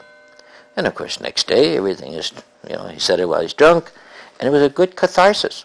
It really was, psychologically, it was a healthy thing. It was a way of unloading the, the, the frustrations and things and get them out in a kind of a, an acceptable manner. And then you went on again. And so today, I, I remember, you know, later on, people say, oh, you know, that's so terrible they got drunk on the wedding. No, that, that was a necessary mental health thing for some of those guys. And I can remember my dad getting drunk, and we had uh, Lawrence Feist was our neighbor who was really very feisty. Uh, and, um, you know, the cows would get out, and he would come over and he would raise hell.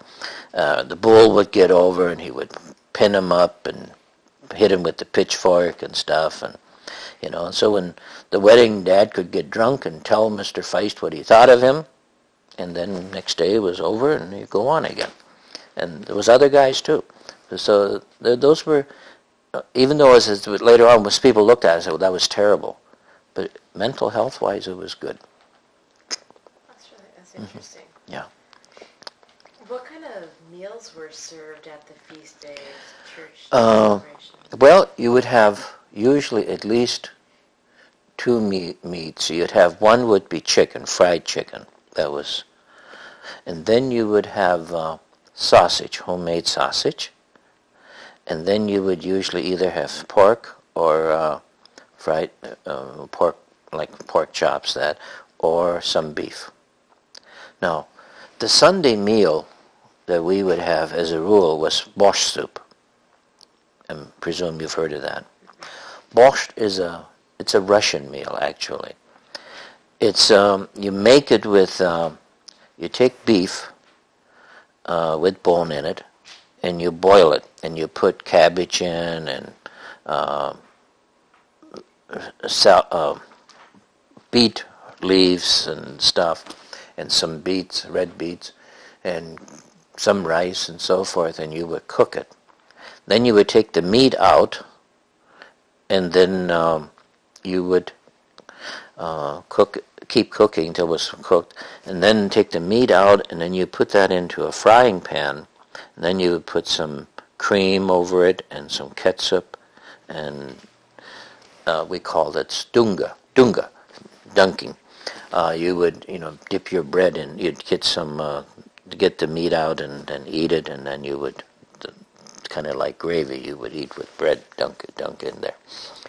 The soup, usually you'd make that on Saturdays because you, uh, then on Sunday when you ate it, you put some cream into it and some liked a little bit of ketchup in it. But it, it tasted better the second day and the third day than the first day because it, the flavor got in and you'd put in some allspice, uh, some of that stuff. That was the sun, the regular Sunday meal as a rule was borscht soup and the meat. Well, you had some of that at the wedding too.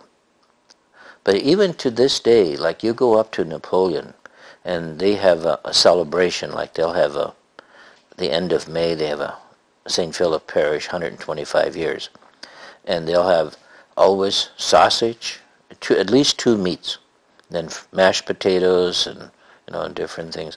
So you had your mashed potatoes, you had your gravy, uh, uh, you'd have um, coleslaw. We call coleslaw today, grout. And uh, usually you'd do it kind of fine, chop it fine, and then put on some sugar and oil and a little bit of salt and stuff. Very good. Uh, so sometimes they'd have boiled pot- uh, potato salad. Now the potato salad we made is different than the potato salad you get here. Potato salad that we made was made with you boil the potatoes and peel them and cut them up in pieces.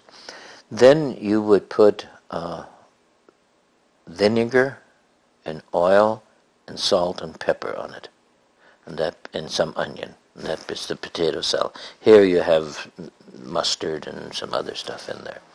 That that's not German. Uh, that's the old German that we had there.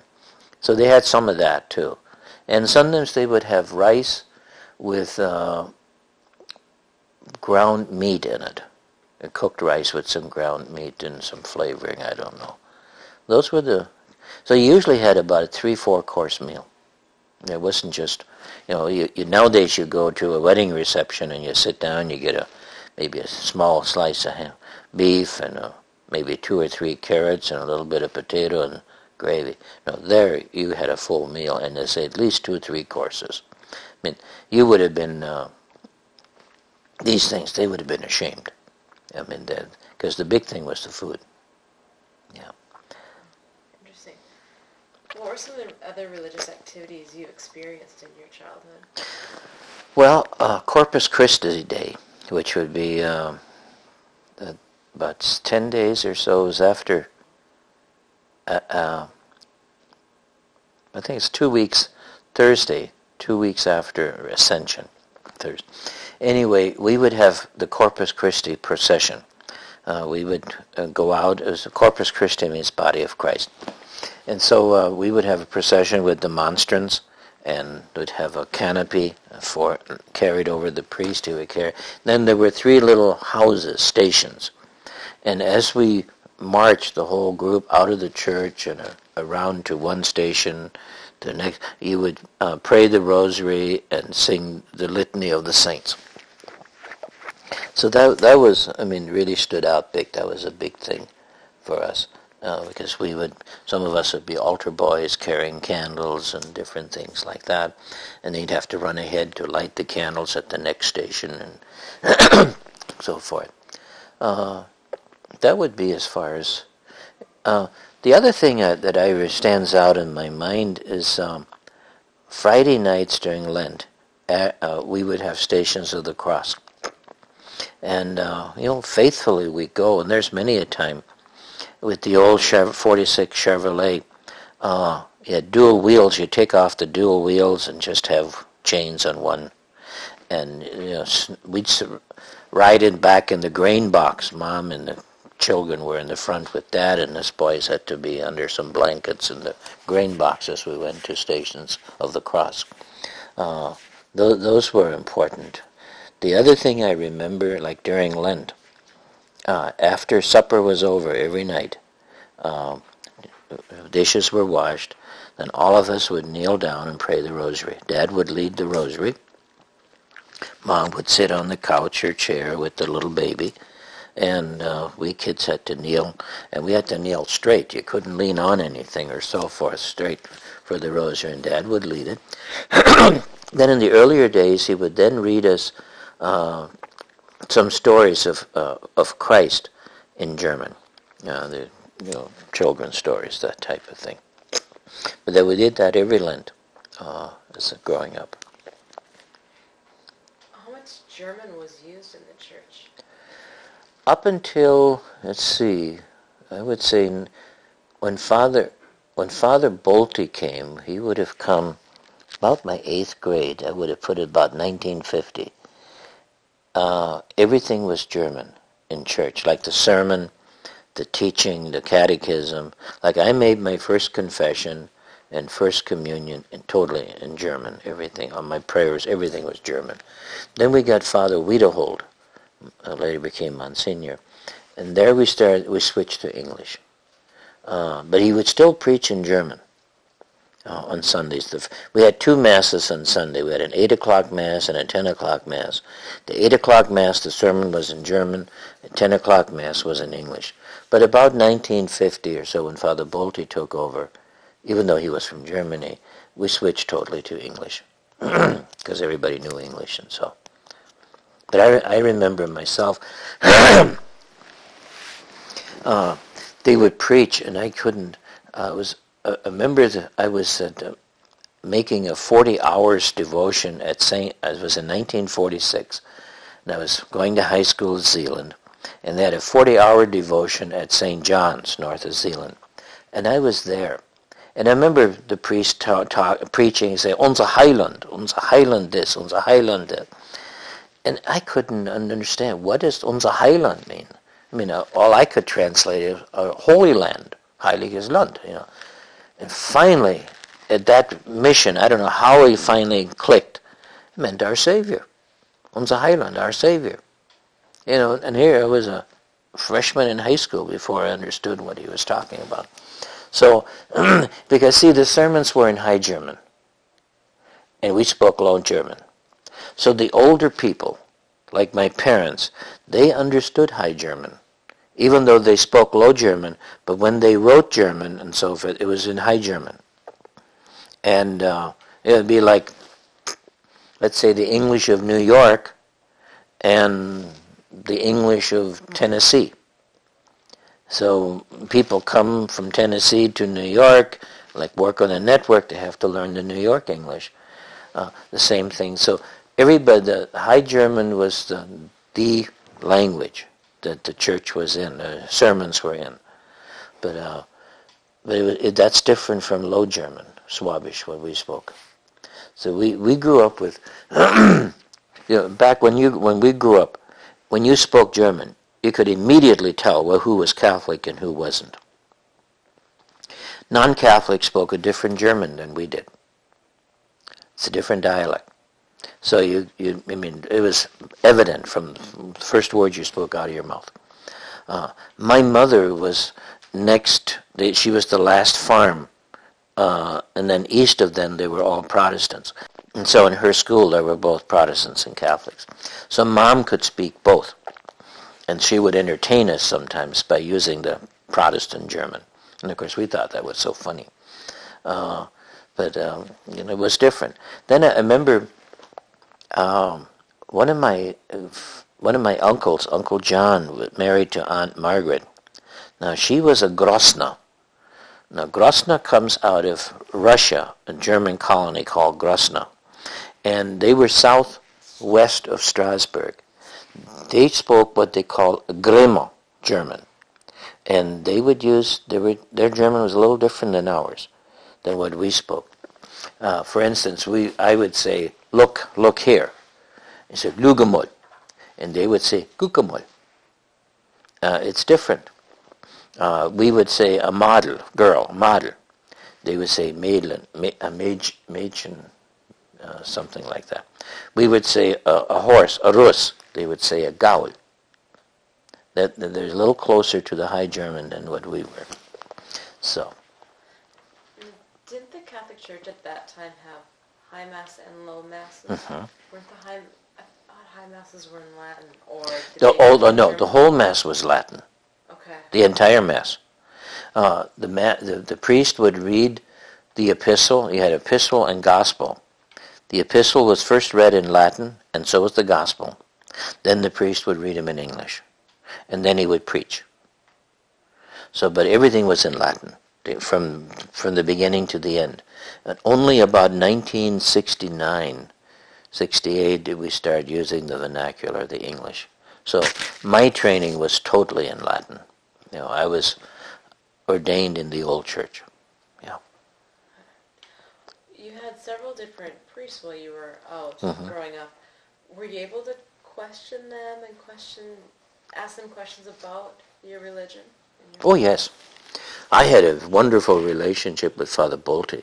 Uh, even when, I, like when I was in seminary, I would come home and visit, and we'd sit up until 2 o'clock in the morning discussing philosophy and religion and things like that. Uh, the priests were very, we, we, we were very fortunate. We had some very good priests. As I grew up, the two priests that stood out in my life were Monsignor Wiederhold, Father Wiederhold. I had him from, I would say, second grade through eighth grade. And then I had Father Bolte from eighth grade until I was ordained.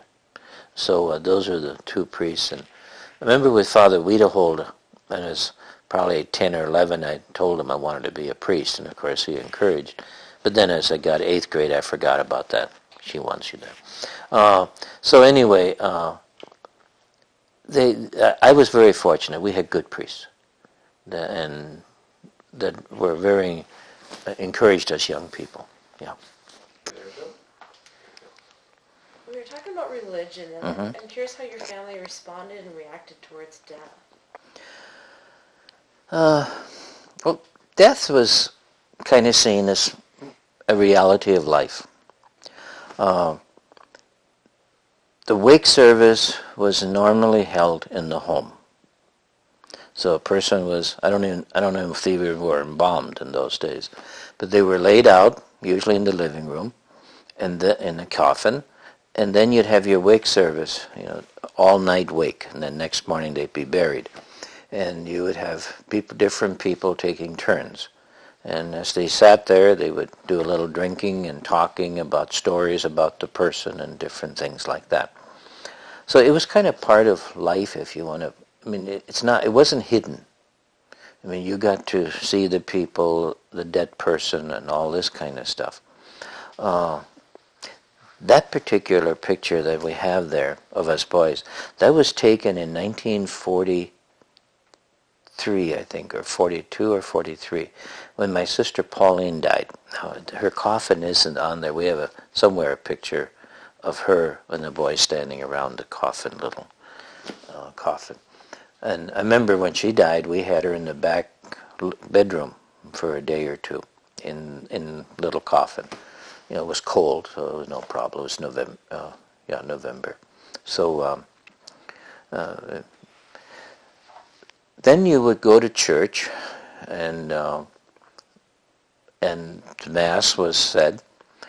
the The grave was dug by the neighbors, and then take it out to the grave, and they had a wooden box, and it was sitting down, and then you would let the coffin down, and you would use the reins from the horses as for letting lowering the coffin. You let that down, and then they would uh, nail shut the top. And then there was the big, what they called uh, the shuk song, uh, the sending song, and it was a kind of a wailing song. It just everybody would just bawl and just, but that was a kind of again that was the catharsis to clean it off. So the big thing was that sending song, the shuk, shun, and uh, say, it was real you know, everybody would just break out wailing and so forth, but then you got it out of your system and it was fine. Then, for 30 days after the funeral, if it was a relative or so, you, you had the mourning period. You could not go to dances or anything like that, no weddings, until the 30-day mourning period was over. And then when the 30-day mourning period was over, then you go on with life. So uh, it, it was, as I say, it was part of, it wasn't hidden away like it is nowadays. You know, some of these people nowadays, people, they look better dead than they did alive. Moses down. So. Uh, Do you remember the lyrics to the wailing song? Pardon? Do you remember the words? No. Okay. Mm-mm. No. I never learned them, so. It Yeah. was obviously in German. Yeah, it was in German. hmm You obviously have joined the priesthood. Mhm. What was your family's reaction when you did finally join and go to seminary? Oh, they were very pleased. As I would, gr- as I grew up, my parents would say, you know, the greatest joy that it could ever come to our family is if one of you boys became a priest. Didn't say anybody had to, but simply say if one of you boys would become a priest. So when I left, when I announced, was July 4th, 1952, is when I announced, went over to father and told him I was, because we had a dance at the hall, and instead of being at the dance, I went over to the rectory, tell him I'd want to enter the seminary, and of course he was very good about it. Uh, my family supported me wholeheartedly, and in fact, uh, in a way, they paid me back in the sense that they, through the cream checks and stuff, they paid for my seminary expense. So when I was ordained, I had no debt. The family paid for it, which in turn, when I was in the seminary, and sometimes when I would get discouraged or so forth, I would remember the sacrifice they were making for me and help me to pull through and things. But it was a family effort, and uh, very, very. And I know my grandparents, Schumacher. Of course, this is 1960. They even gave me $100 for ordination present, and that was $100 was a lot of money in 1960. So, uh, no, it was the family was very relationship, just great joy. So. Were you in at, at the seminary? Were there other German Russians? There were guys from Napoleon. Uh, Gene Schwarzenberger, he's dead now, uh, was there. But it was all English. I mean, there was no German-Russian camaraderie or anything like that. No. How do you think your upbringing influenced you at the seminary? Well, I think it, it, the whole thing is when you start a job, you finish it, and you don't turn back. And so, I, I mean, that really helped me pull through some tough times in the seminary when there were questions, should I go on or not, and things. Uh, helped me to pull through that. So, and plus the support that the, that I knew the family had, that they were counting on me to, to become a priest. Uh, not that I had to, but you know, it was. And so I always saw myself as being, you know, of the family, not something I'm doing on my own, but it's supported by the family and the parish community. You know, the St. Anthony Parish, very proud and all of that. And when I was ordained, uh, you know, the dinner and all the different things they put on, and so they were very good about it. Did you ever get sent to any German Russian parishes? No, I, I was so sure when I was ordained that I would get sent to uh, Harvey or Rugby because they both needed associates. And since I spoke German, I could hear confessions in German, I was sure I was going to get sent there. And so my first assignment was Holy Spirit in Fargo and teach at Shanley. And I was disappointed because I said, if I wanted to teach, I taught before that. Why become a priest? I mean, I could have been taught as a layman, but that's what happened. And so uh, I was at Holy Spirit for three years.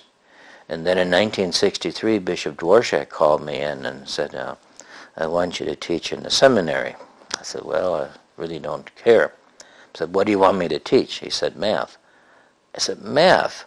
That's the worst subject. All I've had is college algebra, high school algebra. I flunked high school geometry and college algebra. That's all. His answer was, learn it. So I had to go to NDSU and start out with a non-credit algebra course and non-credit geometry course and get a major in math. And that's what I did. While I was teaching math in the seminary. So some days I had to work like Dickens to stay ahead of my students on some of the stuff. But they learned their math. Uh, they were when they took their their ACT test, their high scores always was math, because they had algebra, higher algebra, trigonometry, geometry, regular geometry, analytic geometry, and introductory calc. They all had that. So uh, they had a good math background. wow. Never realized it was that extensive yeah. Yeah, it was. Yeah, those boys got a good education. So when they went over to NDSU, usually they were able to challenge the algebra course and stuff, move right on through. So you only had, you I mean, the geometry. through the seminary? Pardon? What, you just taught the high school course of the seminary? Yeah. Did you Hmm. also No, I didn't teach college, just the high school. And, you know, I had a major, you know, I had a major in history, a major in philosophy, a minor in English, a minor in psychology, a minor in social studies, a minor in Latin, and the only thing I didn't have was math. And that's what I had to teach. So uh, that's the way the church works. So in 1976, uh, I'd been to seminary in 71. I was asked to go to Holy Family in Grand Forks to be the pastor there because they'd had some serious difficulties. And so I went up there, and it was tough, but In five years, we turned it around. It was really great. Bishop Driscoll asked me to come to the to come to work in the chancery, in marriage case, tribunal, and I said no. I love being a pastor. Think about it. So in, that was in January 26th of 76. And then in February he asked me again. I said, no, I love what I'm doing. March he asked me again. And I said, I love what I'm doing. So in April, it was April 6th, I was on my way to Notre Dame for a workshop. He asked me again, and I said, Bishop, I, if I have a choice, I will not do it. But when I was ordained a priest, I promised obedience to the bishop. If you order me to do it, I will do it. If I have a choice, I won't. He said, it's finished. I order you. And so on May 24th, I left Holy Family. I sat on the driveway and I cried. I did not want to leave, but I went to, uh, then I had to go to St. Paul for three months to learn the whole technique of tribunal work and all this kind of stuff. But I would never have grown the way I grew if it hadn't been for those things. I mean, it's God's hand in it. In 1970, I, I was asked to teach psychology, even though I had a minor, I thought good to brush up. So I went summer school. I went over to Moorhead State and I took abnormal psych and theory of personality development, never realizing how that stuff would work, help me in the years to come, and stuff I just used and still use today, uh, and as I have to analyze marriages and things like that. Uh, then in 1978, I got involved in a program called Beginning Experience, BE and it's a program for separated and divorced and widowed people. And I've worked with that now, up from 78 until now. I'm still working with it. But there, in those days, there was nothing for those people. Uh, there were two books out, one by Mel Krantzler and the other one by Virginia Satir. And that was it. And so I, I developed a 10-week course called Level 1. You know, my German way structuring 10 weeks, two and a half hours a week class, uh, helping people just to cope with the problem uh, of just going through the divorce or d- death. when that was done, they said, well, is there anything else? And I got a hold of a book, When Your Relationship Ends by Bruce Fisher, and out of that I developed a course called Level 2, helping people to bring closure to their divorce and work through the anger. And then when that was done, they said, well, is there anything else? Well, I looked around and I found a course by Father John Powell called Fully Human, Fully Alive, and that was in personal growth to help each. Girl and so Finn took that 10-week course, two and a half hours a week. Then when they were done with that, they said, well, I'm, you know, I feel pretty good in starting to date, but I'm afraid I'm going to make the same mistake I made the first time. Is there anything else? And I said, well, not that I know of. So I went to Bruce Fisher and he said, well, here's three books I would ask you to read. Pairing by Dr. Bach, Straight Talk by Sherod Miller, and The Intimate Enemy by Dr. George Bach. So I read them, I distilled them, and out of them I developed level four, which they take as a couple and we work on three basic components, intimacy, communication skills, and conflict resolution skills. And they take that with their person they're dating or so forth excellent course. And then uh, they said, well, you know, we're getting married, but the pre-marriage stuff that we're getting is for the young people. Doesn't suit us. So we got some more material and we developed level five, stepping stones in my brook, where we look at 15 blocks that many couples getting married a second time face and to help them identify where it's coming from and how do we work it through. And so uh, level two, level four, level five are all on videotape. And so I teach different parts of the country. In fact, today I signed off on the copyright on that and gave it back. You know, I developed them and and, a, and then turned it over to BE International. So, so it's been a, a great ride, and uh, I've enjoyed it. And I still work with a lot of separated and divorced people. They've been a lot of good friends there after having become a priest, have the, your favorite holidays shifted at all, changed? Holidays are difficult for priests. especially Christmas. And Easter to some extent, but Christmas most of all. Because you work hard leading up to midnight Mass and then Christmas Day Mass. Okay? When it's over, you come back to the rectory and you're all alone. You don't have family, you know, un- unless your family's close by, and I'm fortunate that way.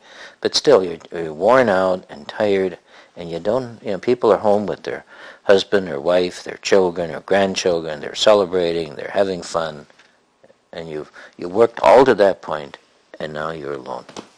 That's probably the most difficult, and most priests tell me that Christmas is very hard.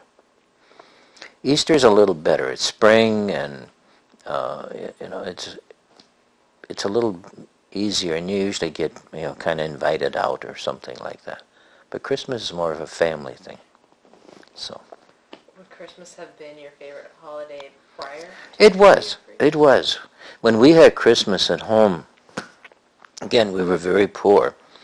And so we would, you know, the five boys, we would get a bag, each one of us would get a small bag of peanuts with a few candy in there. And then together we would get one gift. Usually it was a little pistol with a suction cup on it and a stick that you could shoot on the stick on the wall. By the time evening was over, the, the stick was broke and the gun was gone and so forth. But uh, that was fun. Uh, the Christmas at home was fun. Yeah, enjoyed that. What was Easter like? Easter, uh, well, you had the Triduum, and you know, like Good Friday. Good Friday, you did not work. That was a holy day, um, not officially as church, but for us it was. Uh, you did not work. You fasted. You went to church, uh, usually, uh, you know, the afternoon or so, and uh, the, you didn't go to the vigil service because that was like four o'clock in the morning on Saturday morning, so hardly anybody went in those days.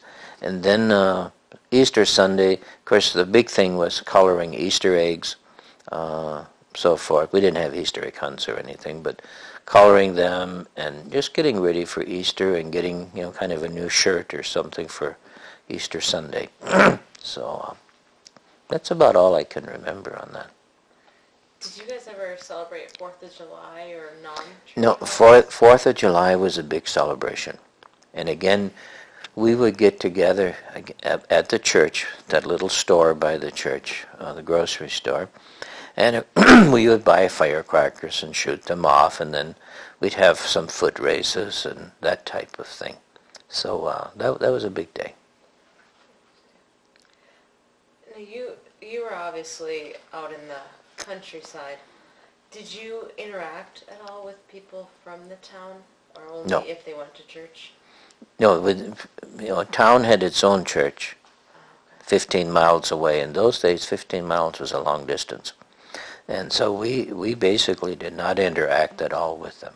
We had our own, had our own community. Now you, you mentioned that in your home there was no electricity until Right. later on. Do you remember when your family got electricity on the home? Oh, yes. Uh, they started, they were wiring up the, when I left for the seminary, which would have been 1952. They were just wire, started to wire the farm. RE, REA was coming in. Uh, I remember when we got our first radio, and you had these big bat, uh, battery packs. And during the war, they were rationed. You could only get one, I think, every three months or so. So you have to make sure you don't listen to it too much, so you could get the the news. And uh, usually, the big thing was listening to the radio. Uh, about five o'clock, you'd have Tom Mix or Jack Armstrong or Superman. and at 6.30 you had the Lone Ranger. Uh, then on Wednesday nights you had Mr. District Attorney and Fibber McGee and Molly. Uh, so there were some, these old, the ones we listened to. Um, but um, I remember we got our first refrigerator. the first refrigerator we had was a, a kerosene refrigerator. You burn kerosene and that somehow froze the things.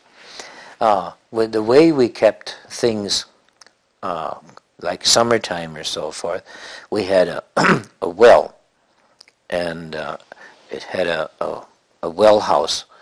It dug down about eight, ten feet, and it was probably six by six. And you would put the cream down there and the milk, and it would keep it cool. And then, of course, the big thing was like you take the 10 gallon cream can, you have to lift, it, put it on your shoulder and climb up a ladder uh, and get it out. But uh, that's how we kept things cool, was that. Then, uh, like when we worked out on the field, you would have a big gallon jug and you put a gunny sack around it and wet the gunny sack. And that would keep the water cool in the, in the jar. Uh, let's see, what else? preserving meat was a, a, a real art, like uh, pork. Uh, you would preserve that by putting it in brine. And to know that you had enough salt in there to, to preserve it is you put a raw egg into the brine. If the raw egg floated, you had enough salt. If it didn't float, then you needed more salt in the brine. Otherwise, it, the, the meat would go bad. Uh, so they, those old people, they, they knew how to do things. And it just came from being passed on generation? Yep, it was passed on generation after generation. Yeah. Interesting. Interesting. Yeah. So then, obviously, electricity had quite an impact on all It did. Yeah, you know, today we think, how can we live without electricity? And, you know, we did, and there was no problem. And they said they knew how to preserve meat. Um, you'd smoke, you'd cure it, you put it in brine, and then you would smoke it, kind of dry it, and hang it up in the shed. And then when you cook it, you, you know, become soft again. Some would freeze the like the beef. They would freeze it in the winter time, then they'd wrap it in a sack, frozen, and then they would bury it in the green grain, and that would keep it frozen and you know until early summer or so. Interesting. Mm-hmm. Did you ever go to movies as a kid? Yes, I did. Uh, that was the big thing, Saturday night. Uh, we would go to town, and of course all the neighbor kids would be there, and you walk up and down Main Street. And we'd go to movie, Roy Rogers, Gene Autry, uh, so were the ones you could go for 15 cents, uh, was the ticket. And so the, we got to see those. And when I was in high school, the one year at Zeeland, Grandpa and Grandma could not, there was no sense going to a movie. Because as far as they were concerned, a movie was just a bunch of pictures. And if you wanted to see pictures, you can take the Sears Roebuck catalog and look at it. And so I snuck off, I think three or four times with a neighbor kid. We snuck off and went to the movie without Grandpa and Grandma knowing. Because they had no, uh, same thing, sports. Grandpa Schumachers. I said the Schumachers there was just work. You know, playing ball, that's stupid. I mean, what's what's so big about that? You hit this ball and you run around in a circle. What's so great about that? You know, that was a waste of time. Do you remember your favorite movie? Mm, not really. Favorite song? Uh, yeah, it goes back to 1946. Don't Fence Me In was came out that year. Do you remember who it was by? No. Okay. Interesting. As a as a child, what do you think was the most difficult thing that you had to experience that you went through? The most challenging? Golly, I haven't given that any thought. I think one of the most difficult things was the death of Pauline back in 43 or 40, or 43. Uh, I always wanted a sister by the name of Pauline. Marianne was the first girl.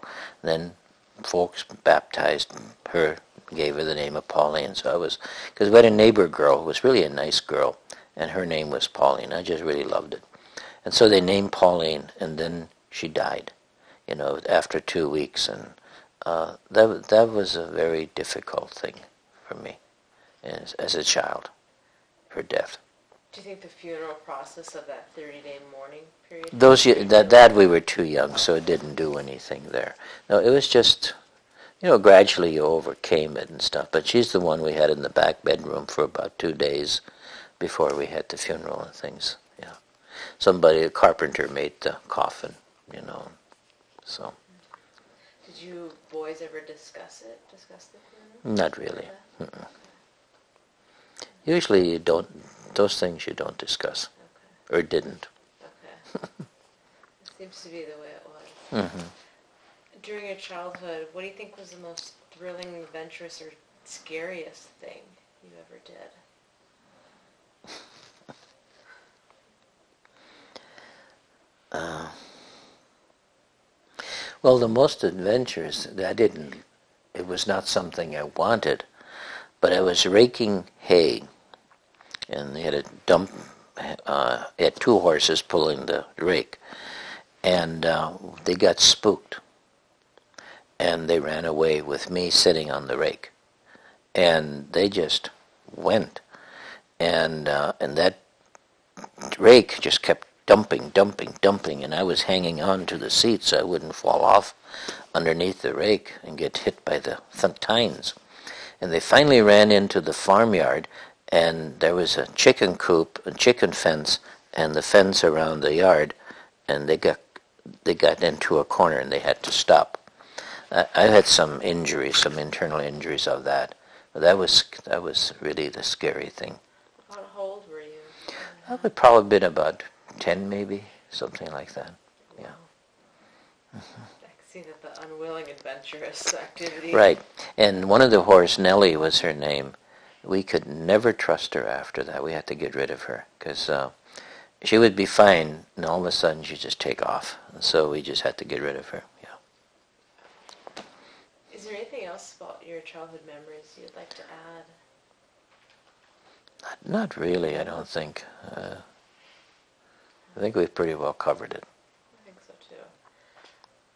Kind of concluding, wrapping up, why do you think it's important to share your life story? Why do I think it's important?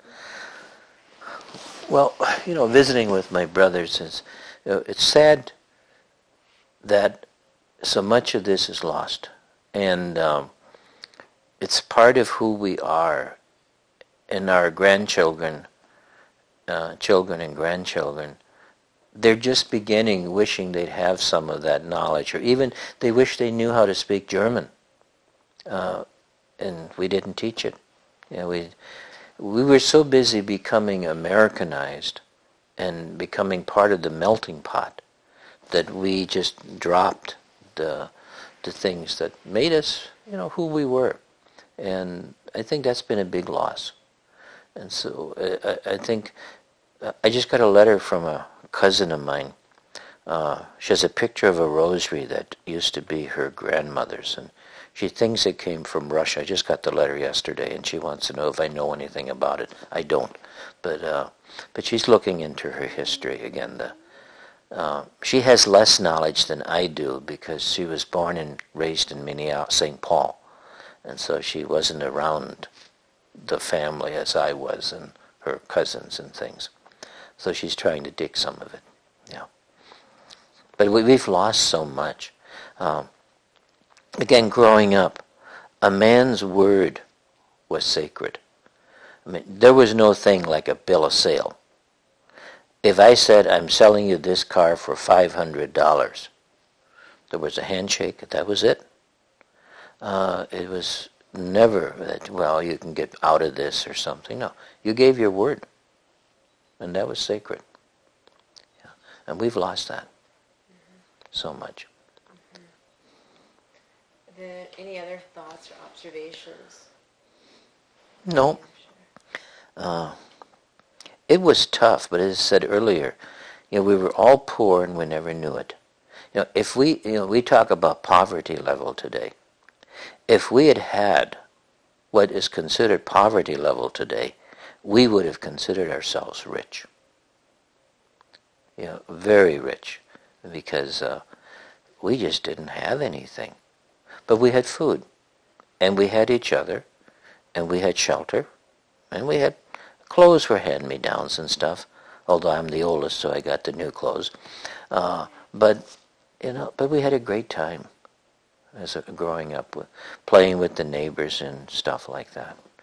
The one thing, uh, one of the neighbors came over once one day, and um, we had this dog Shep, and we had a lamb, and for I don't know for whatever reason, we got the idea of tying the dog to the lamb.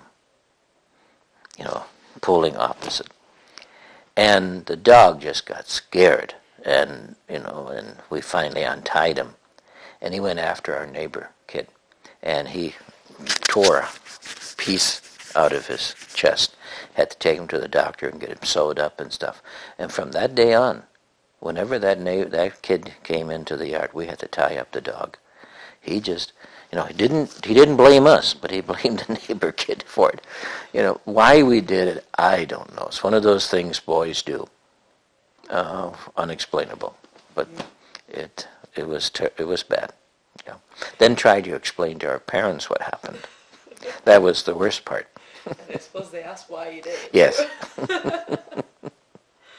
I don't know if we ever really told them that we tied the dog up on it with the sheep. I don't think so because we told him the dog went after him and bit him.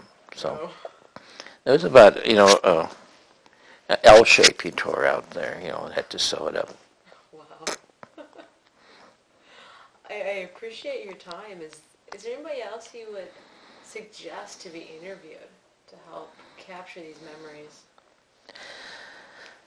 I, I would say if you could get my Aunt Margaret up in Bismarck. Do you offhand know her address or phone number? Yeah, I do have that. Okay, I can get Uh, she's dying, but her mind is good.